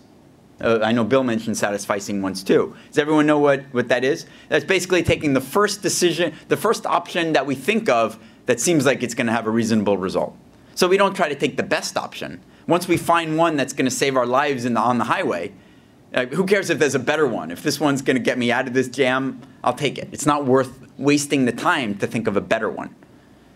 And we do that when we don't have a whole lot of time. And we also do that when we don't really care about the result very much. And I'll have a few examples of that as we go through this too. Um, so there's a lot of science behind brain science. Um, how much time do I have left? Keep going? Oh, good, good. Um, but companies don't really have the time to be brain science researchers, obviously. Um, but many of these things can be really, really powerful tools. There's, there's too much for me to present to you in 20 minutes. Um, so what I'm going to do is try to um, show you a couple of the findings, maybe tease you a little bit with some of these concepts, and, and, and get you thinking. And maybe you can pick the ones that you do have time to go into in, uh, in a little bit more uh, detail. So one of the, one of the uh, aspects of decision making that, uh, that comes into play probably more often than we would like is instant gratification. We all hear about instant gratification. There have been a lot of studies, and this is probably familiar to you all on a, on a visceral level because you've all probably succumbed to the desire for instant gratification, where you did the stupid thing and you knew it was the stupid thing at the time, but you just wanted it anyway for some reason. Right? Lots of examples of these in our lives. And um, this is actually uh, probably one of the more common examples, and they've actually done research in this. This is I'm in the wrong field. I shouldn't be doing UX. I should be doing chocolate cake research. but what they did was they actually gave people the choice between fruit or chocolate cake. Chocolate cake, fruit. Chocolate cake, fruit. Guess what people picked? Chocolate cake. They said, okay, forget that. We're going to give you the same option tomorrow. What do you want to have tomorrow? Oh, well, you know, I'm, I am on this diet. I should be good. I'm going to have the chocolate cake today. So I'll have the fruit tomorrow. And then the next day they came in, they had the chocolate cake and the fruit. They said, okay, yesterday you said you're going to have the fruit today. But we'll give the option. Which one do you want? All right, I'll have the chocolate cake. Tomorrow I'll have the fruit. Does that sound familiar? They actually did this research on thousands of people, and it happened more often than probability would suggest if we were really rational decision makers. And one of those reasons is that it's two different parts of the brain that are assigned to make decisions for right now and that are designed to make decisions for later. And I've mentioned them already. Our amygdala and our basal ganglia wants the chocolate cake. And our prefrontal cortex says, you know, our cholesterol is really high. We're going to be dead. How many chocolate cakes can we have if we're. So I should have the fruit, and then I can have the chocolate cake later. But right now, it's easy to let our basal ganglia, our amygdala, take over. And our prefrontal cortex is really good at deciding what we're going to do tomorrow. And so what happens is that we have to set up our user experience so that people are not making decisions for what to do right now. They're making decisions for what to do tomorrow. And then we can, if we want them to be using cost benefit analysis and rational numbers and that sort of thing, if we want them to be making visceral decisions because we're selling used cars, then we want them to use their amygdala and we want them to make their decision now. That's how those infomercials do it, right? By now, only 30 seconds left. Because what they want to do, if, if they don't have that countdown clock, 30 seconds, 29, 28, 27, you can say, well, you know what? This is a $50, uh, they have all these crazy things on sale on TV now. The uh, American Gold Eagle coin, only 30 left. That's a, that's, you know, that's 30 bucks. So that's 100 bucks. So that's 150 bucks. I'll think about it. I'll write down the 1-800 number, and I'll decide later. And then later, you're just not going to buy it because that's a stupid thing to buy. But if they can get you to make the decision right now, they can get your basal ganglia or your amygdala to make the decision. And then if it seems cool, or if your loss aversion kicks in and you're afraid to lose out on what could be a great opportunity, then that's how they win. Um, and and it, it's amazing just how strong uh, an impact that has. I don't know if any of you are familiar with the, now sort of becoming a, a meme, the marshmallow study. And you, I see a few, a few heads nodding. But for those of you who don't know about it, they took these fourth graders and they put them in a room and they put some marshmallows on a, a plate in the table, on, on the table. Oh, I'm sorry, one marshmallow. And they said, you can eat that marshmallow if you'd like, but if you wait 15 minutes, you can have two marshmallows. And then the experimenter left the room. And of course, there was a two-way mirror. And they watched the kid. The kid's like, and some of the kids ate the marshmallow, and some of the kids waited and got two in 15 minutes. And they looked at what was the difference in behavior between the kids that ate the marshmallow and the ones that didn't. And the ones that didn't had to distract themselves. They couldn't even look at the marshmallow. they had to forget it was there. Because if you don't even know it's there, the basal ganglia loses a little bit of its influence. But then a remarkable thing happened just by chance. 20, 15, 20 years later, the person who was doing that research, his, his daughter, who was one of those fourth graders, I don't know if that's a little bit of a conflict of interest, but anyway, um, was having her, I don't know if it was high school reunion or something that happened 15 years later. And so he said, wow, we can actually go find out what happened to all these kids. And what they did was they actually looked at what happened to all of those kids. And it turned out the ones that were able to resist temptation for a marshmallow for 15 minutes had higher incomes, were more likely to have graduated from college, were less likely to have gone to prison, had lower divorce rates. I mean, it's amazing what a little bit of self-control can do. But it really does matter because instant gratification is done by the part of your brain that isn't making rational decisions. It's the part of your brain that gets slapped in the bar because you said the wrong thing. It's the part of your brain that's always eating the chocolate cake. It's the part of your brain that's not studying for the exam because there's a party going on or because there's a, a rerun of Hogan's Heroes. One more song, and then I'll study. And it turns out that that has such an insidious impact on every decision that we make, minute by minute, day by day, that if you can with, withstand that instant gratification, I mean, it, it really does. It totally changes your life. Now, of course, we're not pop psychologists here. Um, this is about UX design. How do we leverage that in UX design? How do we change someone's decision making from instant to later? Well, um, are any of you familiar with the book Nudge or Cass Sunstein and Robert Thaler? They're um, actually in, in economics, but it has very similar kinds of uh, impacts as, as user experience does. They have an incredible study on 401k investments. Now, let's say you're sitting down, you just got a new job, you got the salary, you're all excited, and says, okay, how much do you want to put into your 401k every month? Uh, especially, let's say you just graduated from college, it's the first time you're ever making money. No, what? next year, I'm going to start putting a lot of money into my 401k. But right now, I'm blowing it. I'm buying a new car and I'm getting a better house and I'm getting better clothes and I'm doing this. And that's what really happens. That's not just in the research lab. So, but the people were, they were sure. Next year, I'm going to put, start putting money in my 401k. But then the next year, they came back and said, okay, it's open enrollment period. What do you want to do with your 401k? I still got more things I want to buy and more life I want to enjoy. But next year, I'm going to uh, start investing in my 401k. But this year, I still have things I need to do. I just, I'm getting married. I want to save up for a nice ring and all these things. So what they did was they said, well, what if we do this? Let's actually take them right from that first day and say, okay, sign the contract now to start investing next year. We're not going to take any money out of your paycheck now. We're going to take you, whatever raise you get next year. Let's say you get a two percent raise. That two percent is what you're going to is what is going to be invested in your 401k. So you're actually your paycheck won't go down at all next year. It just won't go up. And it's not even going to happen for a year.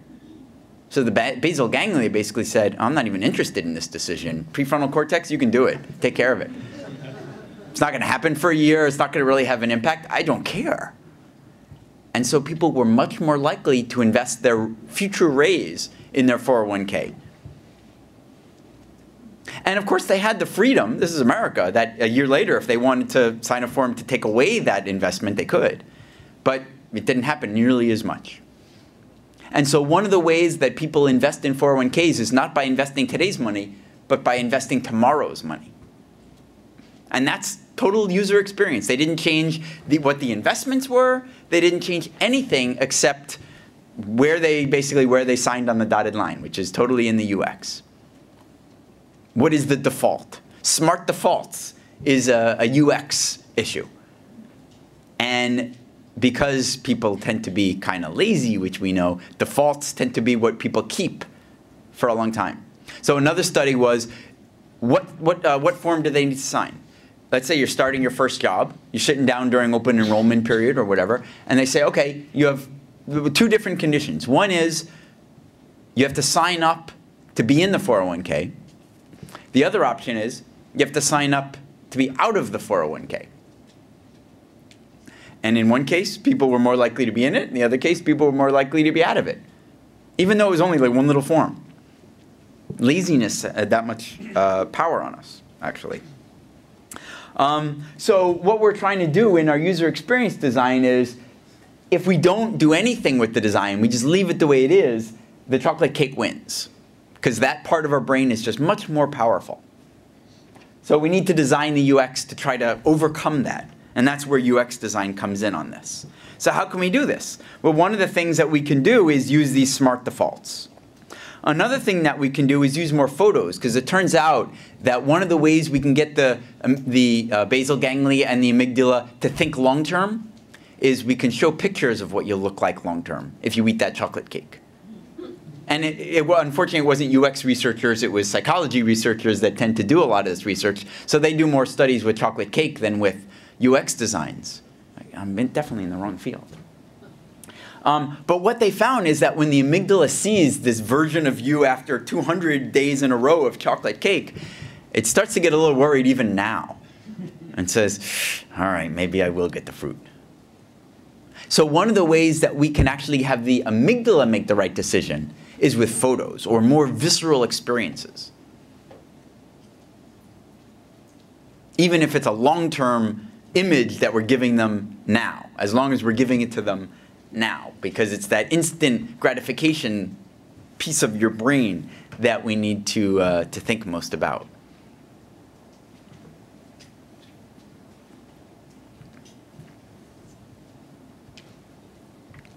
Okay, now this is actually a um, very, very new finding. Actually, this is a paper that just came out about a week ago.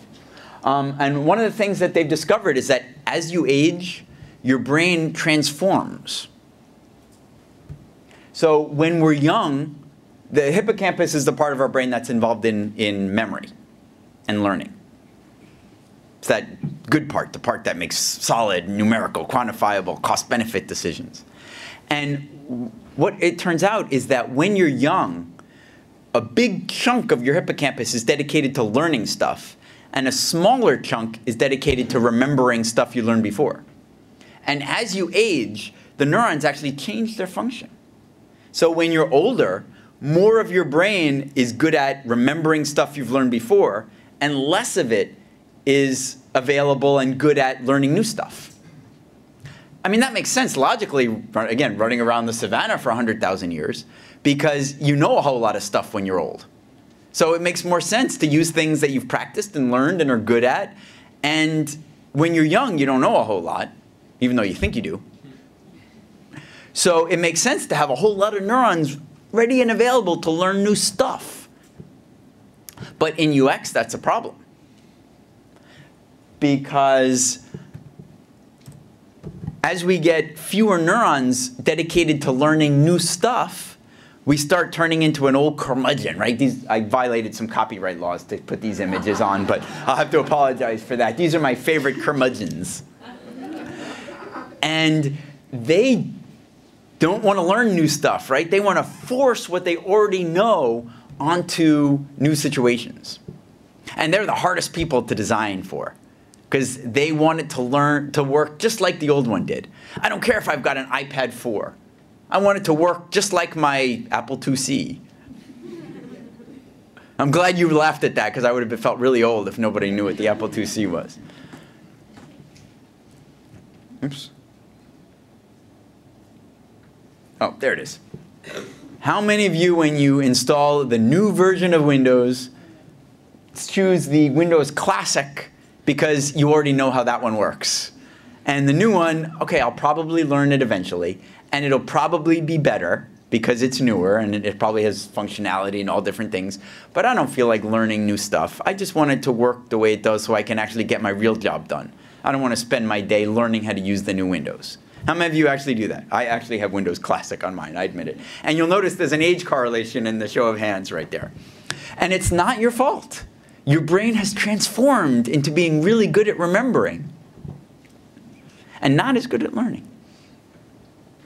And we could either try to fight that or we could design knowing that it's going to happen. So we know that younger users are going to prefer designs that work differently because they like to, new, to learn new things and explore new things. And if it works the same way, they're going to have to remember that. And they don't have as many neurons for that. They have more neurons for learning. Older people are going to want to use the old way of doing things. So they need that crutch. They need to be able to set it on Windows Classic. So what can we do about that? We can use differentiation. We can actually have a version for the old people and a version for the new people. The Windows uh, Classic and the new one. Or we can actually allow them to customize it themselves. Setting, put it on the old one or put it on the new one. Or we could have some features that if you're a young person and you want to learn and explore new things, you can add that to the menu. But if you don't want to be afraid of new things, it doesn't even have to appear on the menu at all. You can actually just make the, the toolbar customizable. Ooh, there's a new feature. I'm going to put that on the toolbar so that I can learn how to use it. Or, ooh, that's a new thing. I'm going to take that off the toolbar so it doesn't even scare me when I see it. Motivated reframing. This is my favorite one because I am really bad at this. I used to think I was really, really smart. And now I know that I just decide what I want and I've become that old curmudgeon I had a few slides ago. I will force the data to prove to me that I was right, which makes me even more sure that I'm smart because I'm always right even before I see the data. and there have been some fantastic studies proving that. I'm, I'm going to use one political example since, since Bill had his, um, what was the congressman's name? Uh, Hutchins. Um, you know, gas prices have been going up and down and up and down and up and down. And if you're a professional PhD economist, you'd say that there's very little that the President of the United States or the government could really do about it because it's all supply and demand. Um, but of course, there are other people who say, no, that you can jawbone and you can pound the podium and you can do all kinds of things. You can drill, baby, drill, or you could. Not going to get into the actual politics of this. This is just the psychology behind it and how it impacts our UX design. What they did was they asked people when um, uh, George W. Bush was president and gas prices were going up. They said, can presidents have an impact on gas prices? And remarkably, Republicans said no, it's not George Bush's fault. It's supply and demand. And Democrats said, yeah, it's his fault. He doesn't know what he's doing. He's incompetent. And then they reran the study when Obama was president and gas prices were going up. And sure enough, the Republicans said, it's his fault. He's an idiot. He doesn't know what he's doing. And the Democrats said, no, there's nothing he can do. It's supply and demand. And of course, it could be that maybe the world was different, and maybe one of them really was at fault and the other one wasn't. So they actually tested them to see what their background knowledge was on supply and demand and the world oil markets and so forth, and none of them really had a clue. so it turned out that the only thing that was causing the difference was what they preferred to be true. Oops. That's not very good for considering uh, for the future of democracy, right? If that's the people who are going to be voting, and that no, and people are so motivated they just vote for the person that they like better, and then force the data to fit that. That's I don't know. Uh, I'm not going to try to answer that question today. Um, now the wine study is a little bit less scary, so I'll, I'll uh, mention that one too. In fact, that this is again I'm in the wrong field. There's a lot of studies that look at wine. Um, taste tests for some reason. I don't know how that works. Some some excuse to drink some wine. Um, but in in one study that is very much relevant to mo- this uh, motivated reasoning and reframing, they. Uh, it turns out that if you put a couple of drops of a good balsamic vinegar in red wine, it tastes better. If you don't know that it's been done. I mean, balsamic vinegar is pretty good, and it matches the flavor, right? It just gives it a more earthy tone to it. If any of you are oenophiles, you'll kind of know what I mean there, and if you're not, just take my word for it. Um, so what they did was they actually gave people, you know, different wines, and they tested about 10 different conditions, but the, the important ones were one, they put the balsamic vinegar in it, didn't tell them about it, just said, which one do you like better? And it was the same wine, just one had a little vinegar and one didn't. So there was, it was a good comparison. And they, uh, on average, they liked the one with the vinegar in it. Then they said, okay, here's this wine, and here's the same wine with a couple of drops of balsamic vinegar in it. Taste test. Which one do you like better? Oh, definitely this one. Passionately this one. No one would admit that they liked wine with vinegar in it. Nobody. Even people who weren't big wine people didn't want to admit that. And then they also had versions in the middle where they said, okay, drink the two wines. Here's two different wines. Don't say anything yet. This one has, is the same thing, but has a couple of drops of balsamic vinegar in it. So they had already decided in their mind which one they liked better, but they hadn't actually said it out loud. Then they did it again where they said, okay, which one do you like better? This one. Okay, that one is the same wine, but with a couple of drops of balsamic vinegar in it. Now you can say it again. Which one do you like? So now they've already said it out loud. Do they want to seem like they're a liar by changing their answer? And it turned out that the, the results were all over the place. So then they actually did those fMRI studies. And it turned out that it wasn't just the decision making part of the brain that changed its mind once you knew the balsamic vinegar was in there. Your taste buds actually got activated differently. Your senses changed, not just your decision making. That's how fundamental this motivated reframing can be. And um, I'm just about at the end of my time, so I'll close with, um, with just one more uh, story, and this one is on cheating, because this happens with ethical decision making also. And this was done by uh, Dan Ariely, who's uh, one of my favorite behavioral uh, scientists. He just went from MIT down to uh, Duke. And this was a study on cheating. What he did was he had a, a room full of people such as yourselves, and they answered 10 questions. And they got a dollar for each one they got right. And the questions were set at a level of difficulty so the average person could get four right. So they handed out the questions and they said, bring up your paper, and however many you get right, you get a dollar. And on average, people got four bucks. So then they did it again and they said, put your, put your, uh, your sheet in this box. You don't have to show it to us. And just tell us how many you got right. The average went up to five or six somehow. People got smarter.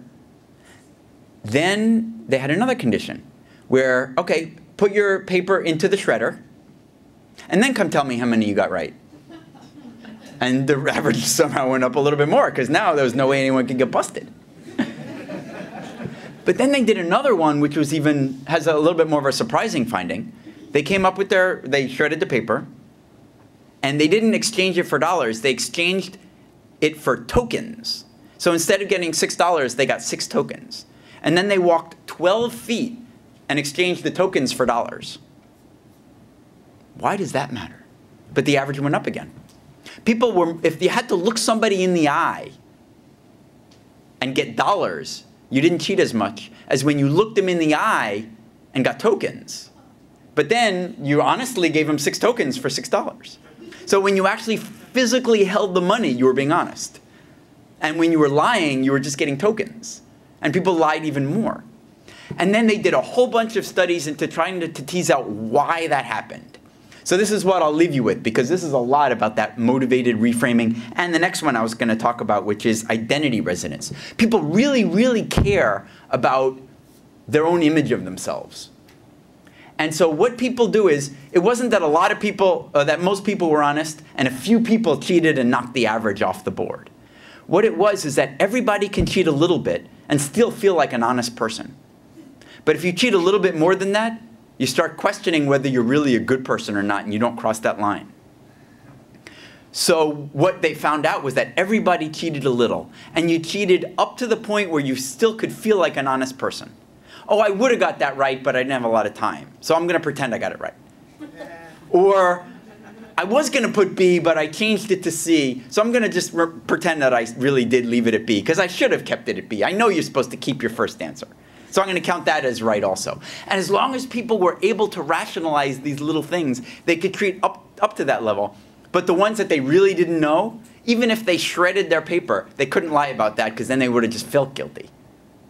So it's not about people are cheaters or not cheaters or this or that. It's you have a self-image, and that self-image drives what you'll do. And as long as you can still feel good about yourself, you'll cheat up to that point. And this has amazing implications. This is the message I'll leave you with on changing from real cash to digital cash when we're buying things online. If you don't ever see the money, you're more likely to cheat. That token finding. And everybody will cheat a little bit. But if we can maybe highlight their self-image, photos of, they actually used the Ten Commandments in this study. If people had to remember the Ten Commandments before doing the study, they cheated less. Even if they weren't religious, even if they couldn't remember any of them. Just the fact that they were assigned the task of trying to remember as many of the Ten Commandments as they could made them cheat less. So we can put that into our UX. I mean, your website, you just have a photo of, you know, a, a, a, an honest-looking person. And that could make people cheat less. Simple. Imagine if we could really make our UXs that much better with such simple, simple interventions. Anyway, that's where I'll leave you with. Thank you.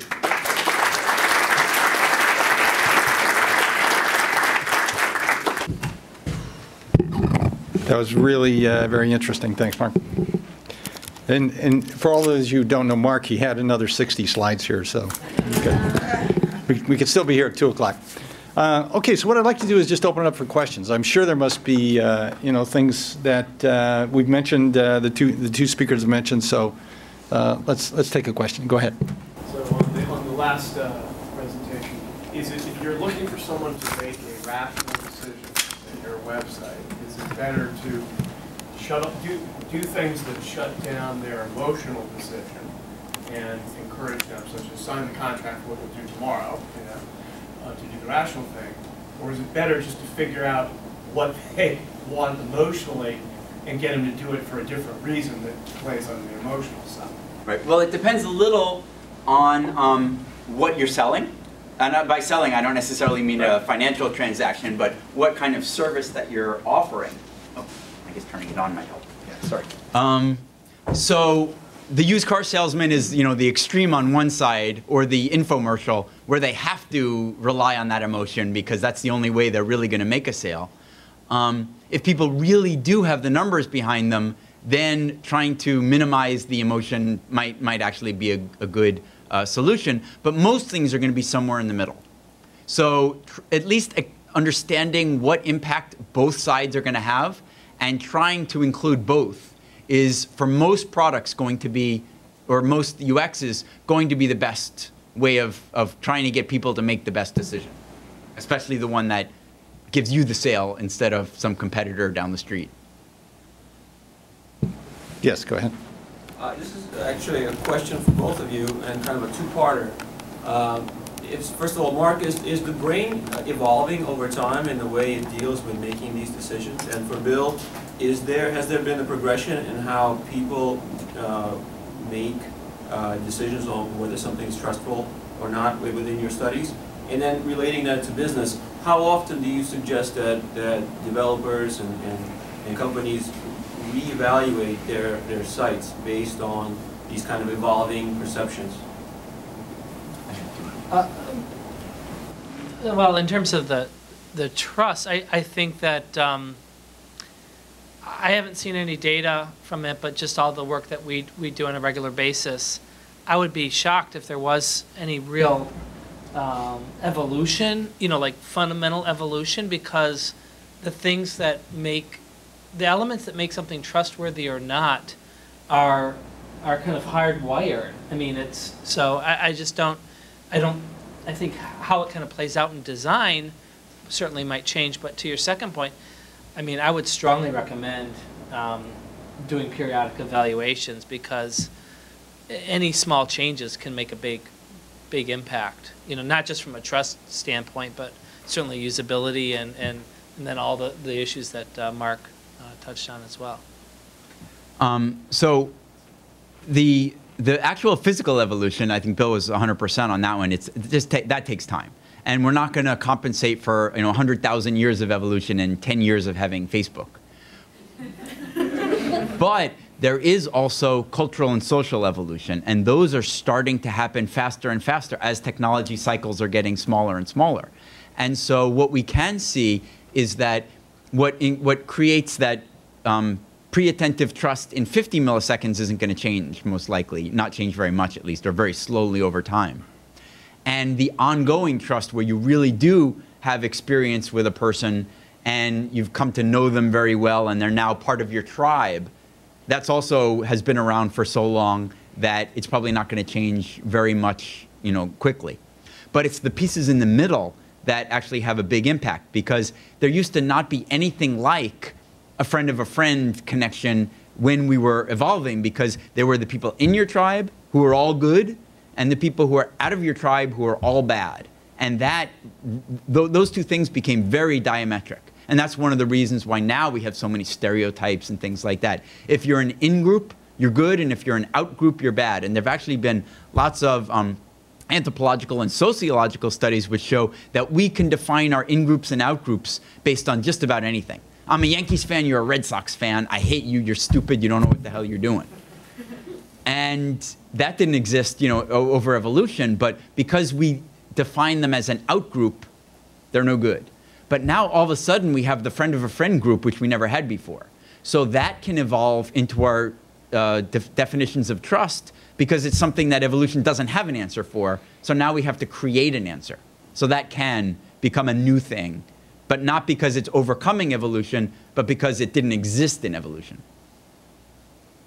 Yeah, just a, a quick comment on the, um, on uh, the frequency of testing sites. We, we see with our large clients that there's a very strong tendency toward longitudinal testing in complex sites. And some of those studies are, are now uh, basically on a three-month cycle. And they're, they're completely planned out and, and they're just part of the business problem. So that I think there's a very significant trend toward tighter longitudinal testing. Uh, And specific reason is to adjust some of these uh, issues which we now see are important. We, we didn't even think were relevant five years ago. Okay, another question? Yes. So I understand about individual consumer using a website and making that cash decision, right, or digital, digital cash. What happens when it's an enterprise user who may be spending money at their organization using the site, or how does the trust factor play in that? Well, there, there was actually a study on that, um, on that also, where they looked at whether people were willing to, and this is in an enterprise context. If you go into the office, everyone else has gone home. Would you take a dime out of petty cash or 10 bucks out of petty cash, or would you take a $10 box of pencils home? And people were much, much, much more likely to take $10 worth of pencils home than $10 home, even though they're stealing $10 from the company either way. But in like, a- in like a user experience or user front end, let's say the wireless sites buy cell phones, you know, buy cell phones for everybody in your company? I mean, you know, how does that work within their budget? Or, you know, how does that, how does that user feel about the trust of the site and, you know, Well, I mean, from what I talked about, the tr- trust, you know, there, like I said, there has to be an element of risk, uh, some, some negative repercussion. And I think the opportunity for negative repercussions with an enterprise application um, is pretty minimal. I mean, uh, maybe um, making the wrong, wrong decision or, uh, but that's going to be more tied to really kind of the, the usability of it. Um, usually there's, there's a high, high degree of trust in enterprise applications because it's already been blessed or validated by the organization. So to me, that it starts to use design in terms of user experience really starts to shift more towards um, uh, usability and particularly efficiency of use. Yeah. Um, As Charles mentioned earlier, I've done a lot of uh, consulting as well as uh, research, and one of the areas that I used to do a lot in was is in performance management. How do you get employees to pursue the the objectives that you want them to, and maybe spend less time on the other ones? And it turns out there's a whole bunch of different categories of attribute that people focus on. Money is one, obviously. Um, there's also their own um, promotion, uh, their own success within the company. There's also their social life. Sometimes people are willing to give up financial benefits and opportunities for promotion if it makes them get along with their coworkers, because then their day-to-day life is better, which actually has more of an impact on your overall life than promotion and, and financial benefits do. So how can companies create the employee experience um, so that the employees are putting much more effort and much more consideration into the metrics that the company cares about and maybe less into some of those others. And money is not always the one. Sometimes minimizing risk, increasing resilience are more important even to the company than five bucks today. And employees are really good at minimizing risk because that's usually what they're doing for their own cover your behind strategy of, of keeping their own jobs safe. So, um, so often doing, uh, choosing whichever choice, whether it's buying the cell phones for the whole, whatever, whatever choice will minimize your risk of getting in trouble is what they take. And that's, uh, again, it's a very, very visceral response with a whole bunch of somatic markers in it. And the company can take advantage of that by saying, okay, you know that thing you're doing for yourself? Let's do it for us too.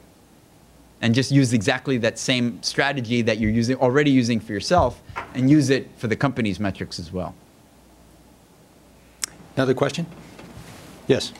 Hi, how you doing? Uh, I just want to say thanks, uh, for the great presentation. Uh, I really liked your uh, conversation you had with the frontal cortex and your amygdala. I really thought that was really interesting. Uh, My, uh, my question is- is for Bill, um, and it has to do with trust, and you mentioned manipulation and default settings. Um, I'd like to hear you talk about the rub between marketers. You know, I mean, I think marketers are getting it now that manipulation is bad and, using correct defaults. It's changing. It's changing slowly, but you know, a, a lot of marketing has been manipulative over the years, and you know, like I said, I started to see change. But what can a, a UX strategist talk to a marketer and say, well, if you're doing manipulative, you know, maybe that's not the best way. You know, it's about building relationships, but, you know, and if you get a marketer who fights back at you and says, well, this is not gonna go towards our bottom line, what type of, what kind of conversation can you have in a, in a circumstance like that? Oh, that's a great one. Um, I, I mean, I, I like to at least start the conversation off by talking about, like you said, that relationship and who wants to start their relationship off with a lie, ultimately? I mean, it's not a good way to start, right? Um, but being a data person, what I like to do is try to collect data looking at both short term and long term. Yeah, we can increase uh, email subscriptions, you know, by threefold if we make that um, an opt out and we put it below the fold and use kind of a, um, a light gray text, um, a whole bunch of different tricks, right? And the market's like, yes, sounds good. We can meet our numbers, et cetera. But what's that? What's that going to do long term? Are those uh, uh, going to become qualified customers? How are you going to build um, brand loyalty, repeat usage, and really try to look at kind of the whole user experience and that whole longer term relationship? And for me, I would say let, let's get data and try to uh, develop it, and how it impacts overall uh, brand perception. Because if I'm starting off with a relationship and I if I notice it, I'm like, who are these guys? Who, you know, they're trying to pull a fast one over me. It completely changes, and you know, like what Marc was saying before about how, you know, that's going to color my perception of that company for a long time. And so, see how it correlates to Net Promoter Score. See how, you know, look at the look at those other benefits. So I, I mean, just like marketing people are data driven, I think UX people need to be as well and look at kind of a whole, whole suite of um, metrics around where, where we're trying to get at, not just take a kind of a really myopic, short-term view of it. And in the, in the era of social networking, that's actually a, it's a swifter resolution of that kind of problem because somebody internal to the company could possibly tweet out what you're doing.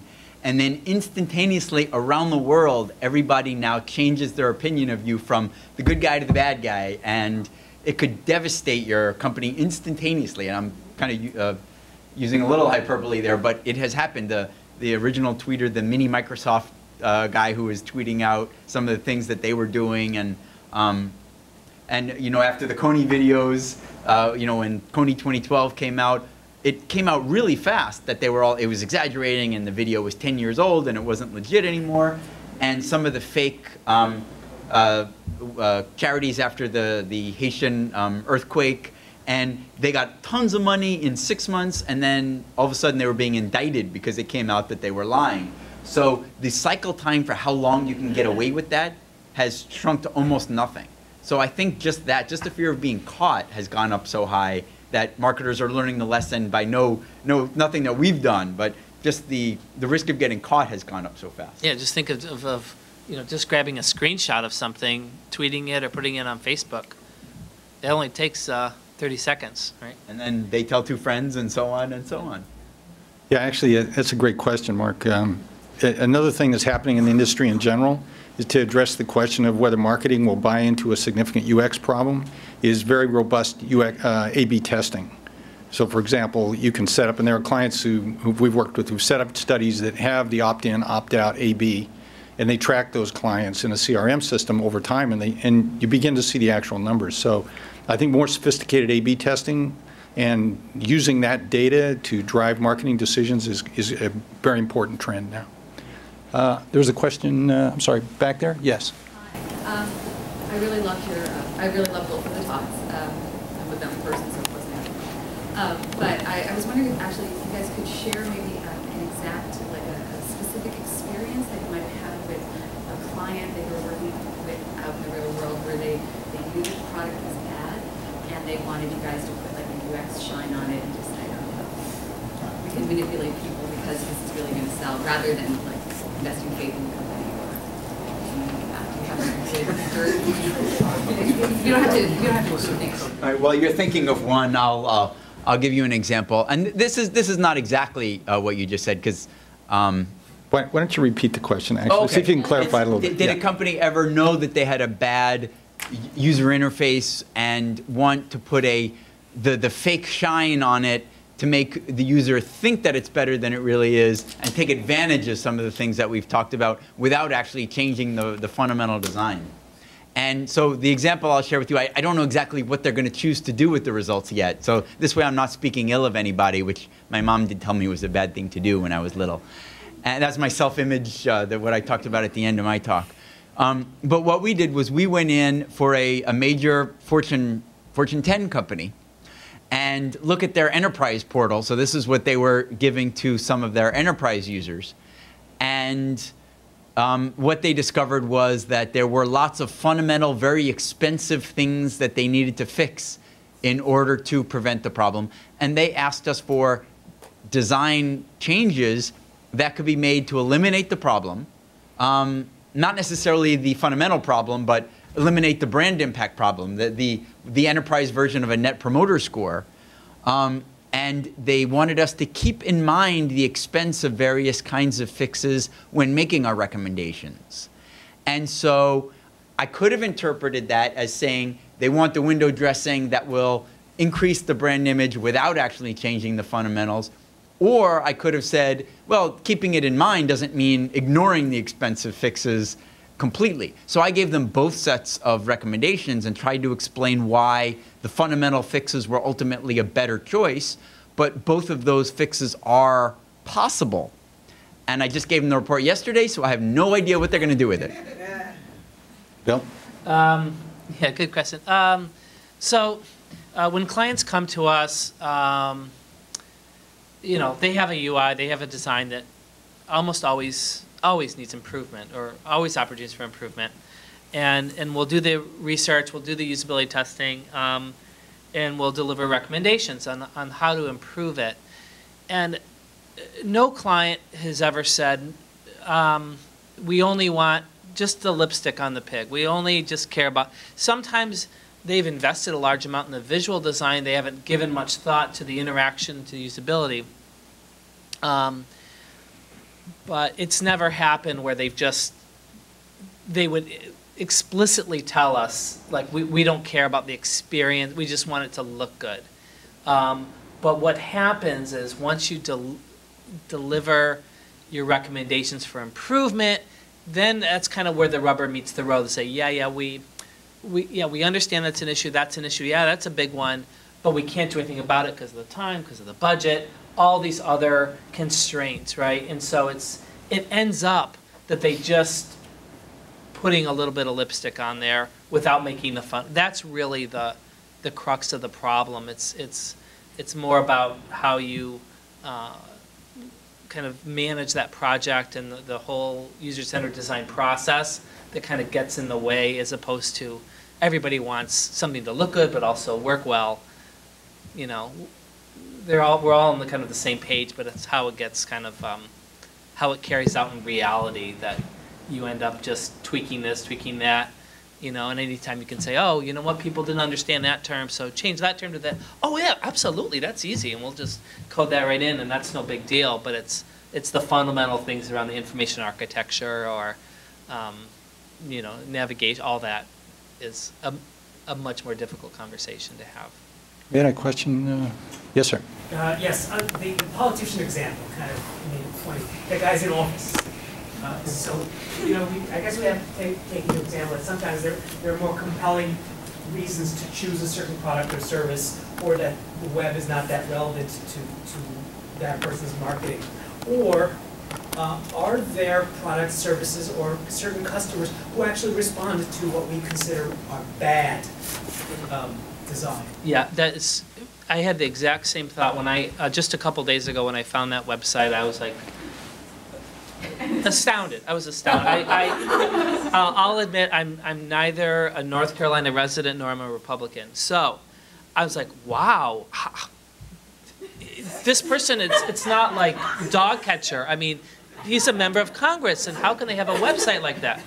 So, um, so then I started thinking, yeah, I think, well, you know what? I'm certainly not his target by any stretch. Maybe that's the maybe that's the design that really resonates with people. Maybe that over the top is what his constituency is looking for. But then there are some issues that um, go beyond that, that are just pure usability. So whether you're, whatever your political leanings, wherever you're from, if you can't read something because of the contrast, or because of that font size, um, or because of the information density, that's a problem no matter what, right? So he- if he can't get his message out, you know, and certainly there's a tone, and you could argue maybe that the tone is actually perfect, it's right on target for what he's trying to get across. What about the, di- what about the diet product?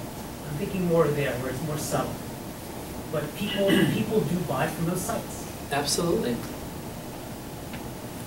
You know, I, I, again, I think it just goes to really understanding what your, who your audience is, and, and, and I think that's a perfect example of what Marc was talking about of, of kind of the short-term, long-term trade-offs, and really, you know, re- reducing risk, all of it was like, no fees, no fees, hurry up, you know, so many things, things left, and that was a real, trying to be a very much of an impulsive buy, but, um, um, but there's, there's good design that is gonna cut across a lot of that, because, yeah. And if you can get the motivated reasoning aspect involved, then what you wind up doing is people who already want to believe in you, in, in the case of a politician or a diet drug, uh, if you think about, um, again, the, the motivated reasoning, I really want to lose weight and I need something to grasp because I've tried Weight Watchers and Jenny Craig and nothing has worked for me. So I want this to work. If I want it to work, therefore it must be real. If it's real, they must have a good website. And if it has a good website, then this design must be good. And so it works in a complete backwards path, and all of a sudden, that website is a good website in their minds. But that will only work for, in the politician's case, the already converted person. Maybe, maybe that is the target for the website, but maybe not for the TV commercial. So you might wind up having to differentiate your different campaigns so that your website it looks that way on, on purpose because you're trying to target the true believers, whereas your radio ad might might not. And so you use one strategy for one UX and another strategy for another UX, depending on who's coming. Is it your loyal purchaser on your Facebook page, or is it your um, uh, potential new customer on your website, and then have a totally different design for each? Yes, in the back? Uh, well, in the mobile world, one of the challenges is not getting people to download an app, but getting it to be an app they use once a week. One of those five to ten apps they use frequently. So, what's some of the science behind creating habits or repeat usage? There's actually a, a whole book that just came out um, about three months ago called The Power of Habit. And um, it, it had actually a, one of those things that's a really, really straightforward and simple to say, but try doing it, it's, it takes a little bit more thought. Um, but what they talk is, what, um, his, his basic point is, is actually, I think, has a lot of truth to it, which is that the things that trigger somebody's behavior are going to be the same no matter what you do and the end result that they're looking for is going to be the same no matter what you do. So the real trick to becoming part of somebody's habit is to make your product or, or your app, in your case, the thing that helps them get from problem to solution, from starting point to ending point. And so the way you want to either present it or you, you need to make sure that if the triggering point, and he actually talks about an example from a long time ago, how did we get people to start brushing their teeth before that was common? I mean, if you think about you grew up for, you're now 35 years old, you've never brushed your teeth in your life, why would you start now? It just doesn't make any sense, even though to us it seems totally natural. Well, how did they get the entire Western, the entire developed world to brush their teeth twice a day from nothing? I mean, that's an amazing change, change of habit. Imagine if you could do that with your app, you know, the whole world twice a day. Um, and what he did was he, he found out what was it that, uh, what what was the situation that people wanted to change. And that situation was there regardless of whether toothpaste existed or not. It's that, you know, the dry mouth you get in the morning or something like that. And what was a feeling you might have at the end that people would want to have regardless of whether toothpaste existed or not, which is that clean feeling and fresh and good breath and that kind of stuff. So what he did was he sold, instead of selling the app or the toothpaste, they sold the link between when you have this feeling, brush your teeth, and you'll have this feeling. And so the, the customer didn't think about toothpaste at all. They thought about, I have this feeling, I want this feeling, I need a way to get from here to there. And so that's how they drummed in the habit of brushing your teeth. Is it's the way to get from this situation which you already have to this situation which you really want to have that had nothing to do with toothpaste. So they never actually sold toothpaste. They sold the transformation from this situation to that situation. Yes, go ahead. I was wondering, what is the origin of the behavior and the first example, I'm sorry, it's from Mark or let's answer. The first example that you gave where the client doesn't know what they want even though they asked for it and they're not satisfied once they get what they asked for and even when you show them proof that it's something that they asked for, they still almost blame the developer. What is the origin of this behavior and what can, if anything, can be done about this? Well, it, starts out as being kind of the motivated reasoning um, issue. What happens is they they know what they want to get. You know, the, the clean feeling after brushing your teeth.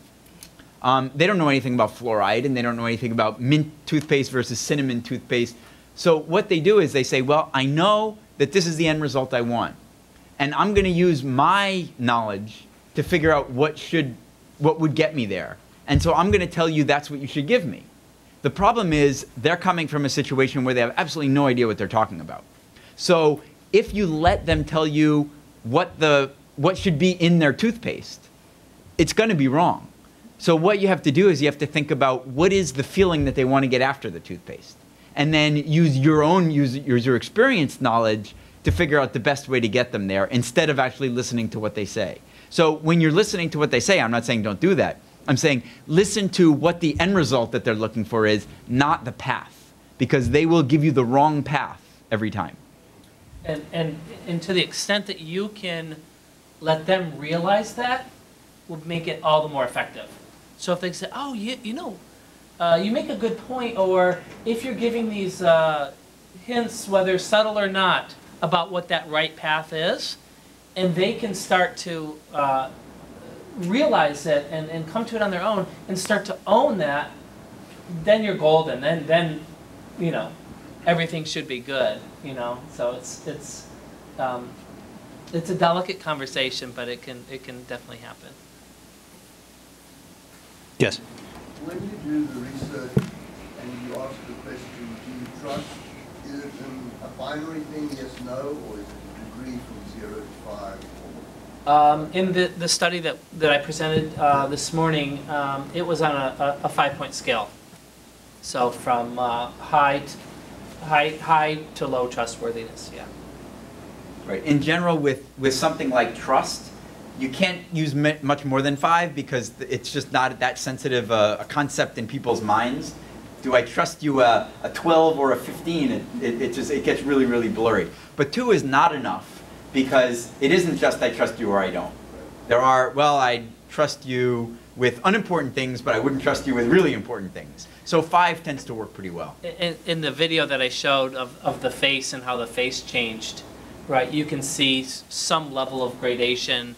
Um, I don't know if you saw it when it was moving down to zero. It looks just plain face, you know, and, and, and you definitely can see some some continuum. Yeah. Just one, one sec. Any, anybody else have a question? Yes, in back? How many, um, so even if you download an app and say you have a problem that needs solved, and this app has like, you know, in this, in the, in the past solved all your problems, and then you have a bad experience with that app. You know, does that break that habit of going to that app? Like how many bad experiences, or how many good experiences does it take to outweigh a bad? I think it really depends on what the good and the bad are. I mean, there's there's bad experiences where uh, might be minor, right? Where you the, the data's out of date or you have to re-enter something. It's it's a nuisance, right? But then there's something that could be um, malicious, or or I think that is basically a one-shot deal. I think once you cross, it's kind of like that. Just kind of once you cross that line, you know, it's really, really tough um, to get that back. And I know that they're also very culturally sensitive too. I think generally Americans are more forgiving, uh, especially in the data that we've looked at. Um, and it's, but I, I think that, you know, i if, if you can say, well, you know, it, it could have been a, a bad experience because of the technology or the, their backend server, the, the server was down or, um, or just a bad design, but they meant well. Very, very, it pretty easy, maybe two or three times over a longer period of time, but it's, it's hard to do that trade-off without knowing really the context of it. I'll give you one um, some, something that gets very, very fundamental to, to the way the brain works, which, which helps to solve that problem, which is the self identity that I talked about earlier. If you can get your brand into their concept of self identity, then they'll be much more forgiving for your mistakes. So if you're if you don't buy Apple because they happen to have functionality that you like, but you buy Apple because you want to be an Apple guy, then they can screw up a whole lot. And it's as long as other people don't start thinking about Apple differently, it's not going to change your behavior because you don't buy Apple because of the way it treats you. It, you buy Apple because the way you look with, in front of your peers by having one. And so that gives you a lot more. And so what that changes is called the attribution of um, responsibility, which is, um, and this kind of gets at what, at what Bill was saying, you have a choice when there's a failure. Do you blame the company because they did it either on purpose or out of negligence? Or do you blame something that was outside their locus of control? And it's, you, don't, you don't make that attribution based on what's real. You, base, you make that attribution based on what you'd like it to be. So if I like Apple, then anytime they screw up, I'm going to say, well, that was some that was an outlier. It's not their fault. It was because of AT&T's network, not because of Apple. It was because of my dog, you know, bit it or you know something like that. We will blame somebody else because we don't want to blame the brand that we like. So if you can get your brand into into your customers' feeling of self-identity rather than just you have a good product, you're much more robust to those kind of problems. Doing it is a little harder. Um, I would like to ask my users, here's a list of the features that we put, uh, here's a list of the features that I put into the design. And I want to ask them, uh, which is the least favorable for you and which is the most favorable for you. If I would ask this question to my, uh, my users, would, would there be any disadvantage of asking these questions or not? I mean, I understand that it's going to be favorable to me to know this information. What do they like the most, what do they don't like the most. But how it could affect me. It's possible to ask a question having absolutely no interest in the answer, but because the process of answering the question gets the customer to take on a particular viewpoint. And if you only have 10 people in a room, that's not going to change your market share all that much. Um, but if you have a broad-based survey where you're asking, you know, 20,000 people a particular question, just having the opportunity to answer the question can change your brand image. That's actually what a lot of customer survey, uh, customer comment cards, and those kinds of things, uh, that's why companies do them. They don't do them because they really want to know the answer. They do them because having the opportunity to vent makes you feel better as a customer. You think that the company cares about what you think, so all of a sudden you like them more, so you're not going to switch, even though they might have just thrown away the customer comment cards and never actually looked at them. Or if you really do like them and you said it out loud, as, as with my wine example, um, then in order to maintain that self-identity, you don't want to be a liar. So if I tell the world that I like this company, I better keep using them, otherwise I'll be a liar, and I don't want to seem like a liar in front of my peers. So it's possible to do that. Um, whether that's a good thing to do or not, an ethical thing to do or not, a long-term thing to do or not, that I'm not sure we really know. I have my suspicions, um, but it definitely works in the short term. I, I would just add, there's always a, there's always a downside or a risk. And the risk is that you misinterpret the data. You know, writing good surveys is truly an art and a science. And you really have to know what you're doing, otherwise you'll misinterpret the data. And so you could ask, here's a laundry list of all the different features, some that we have, some that we don't.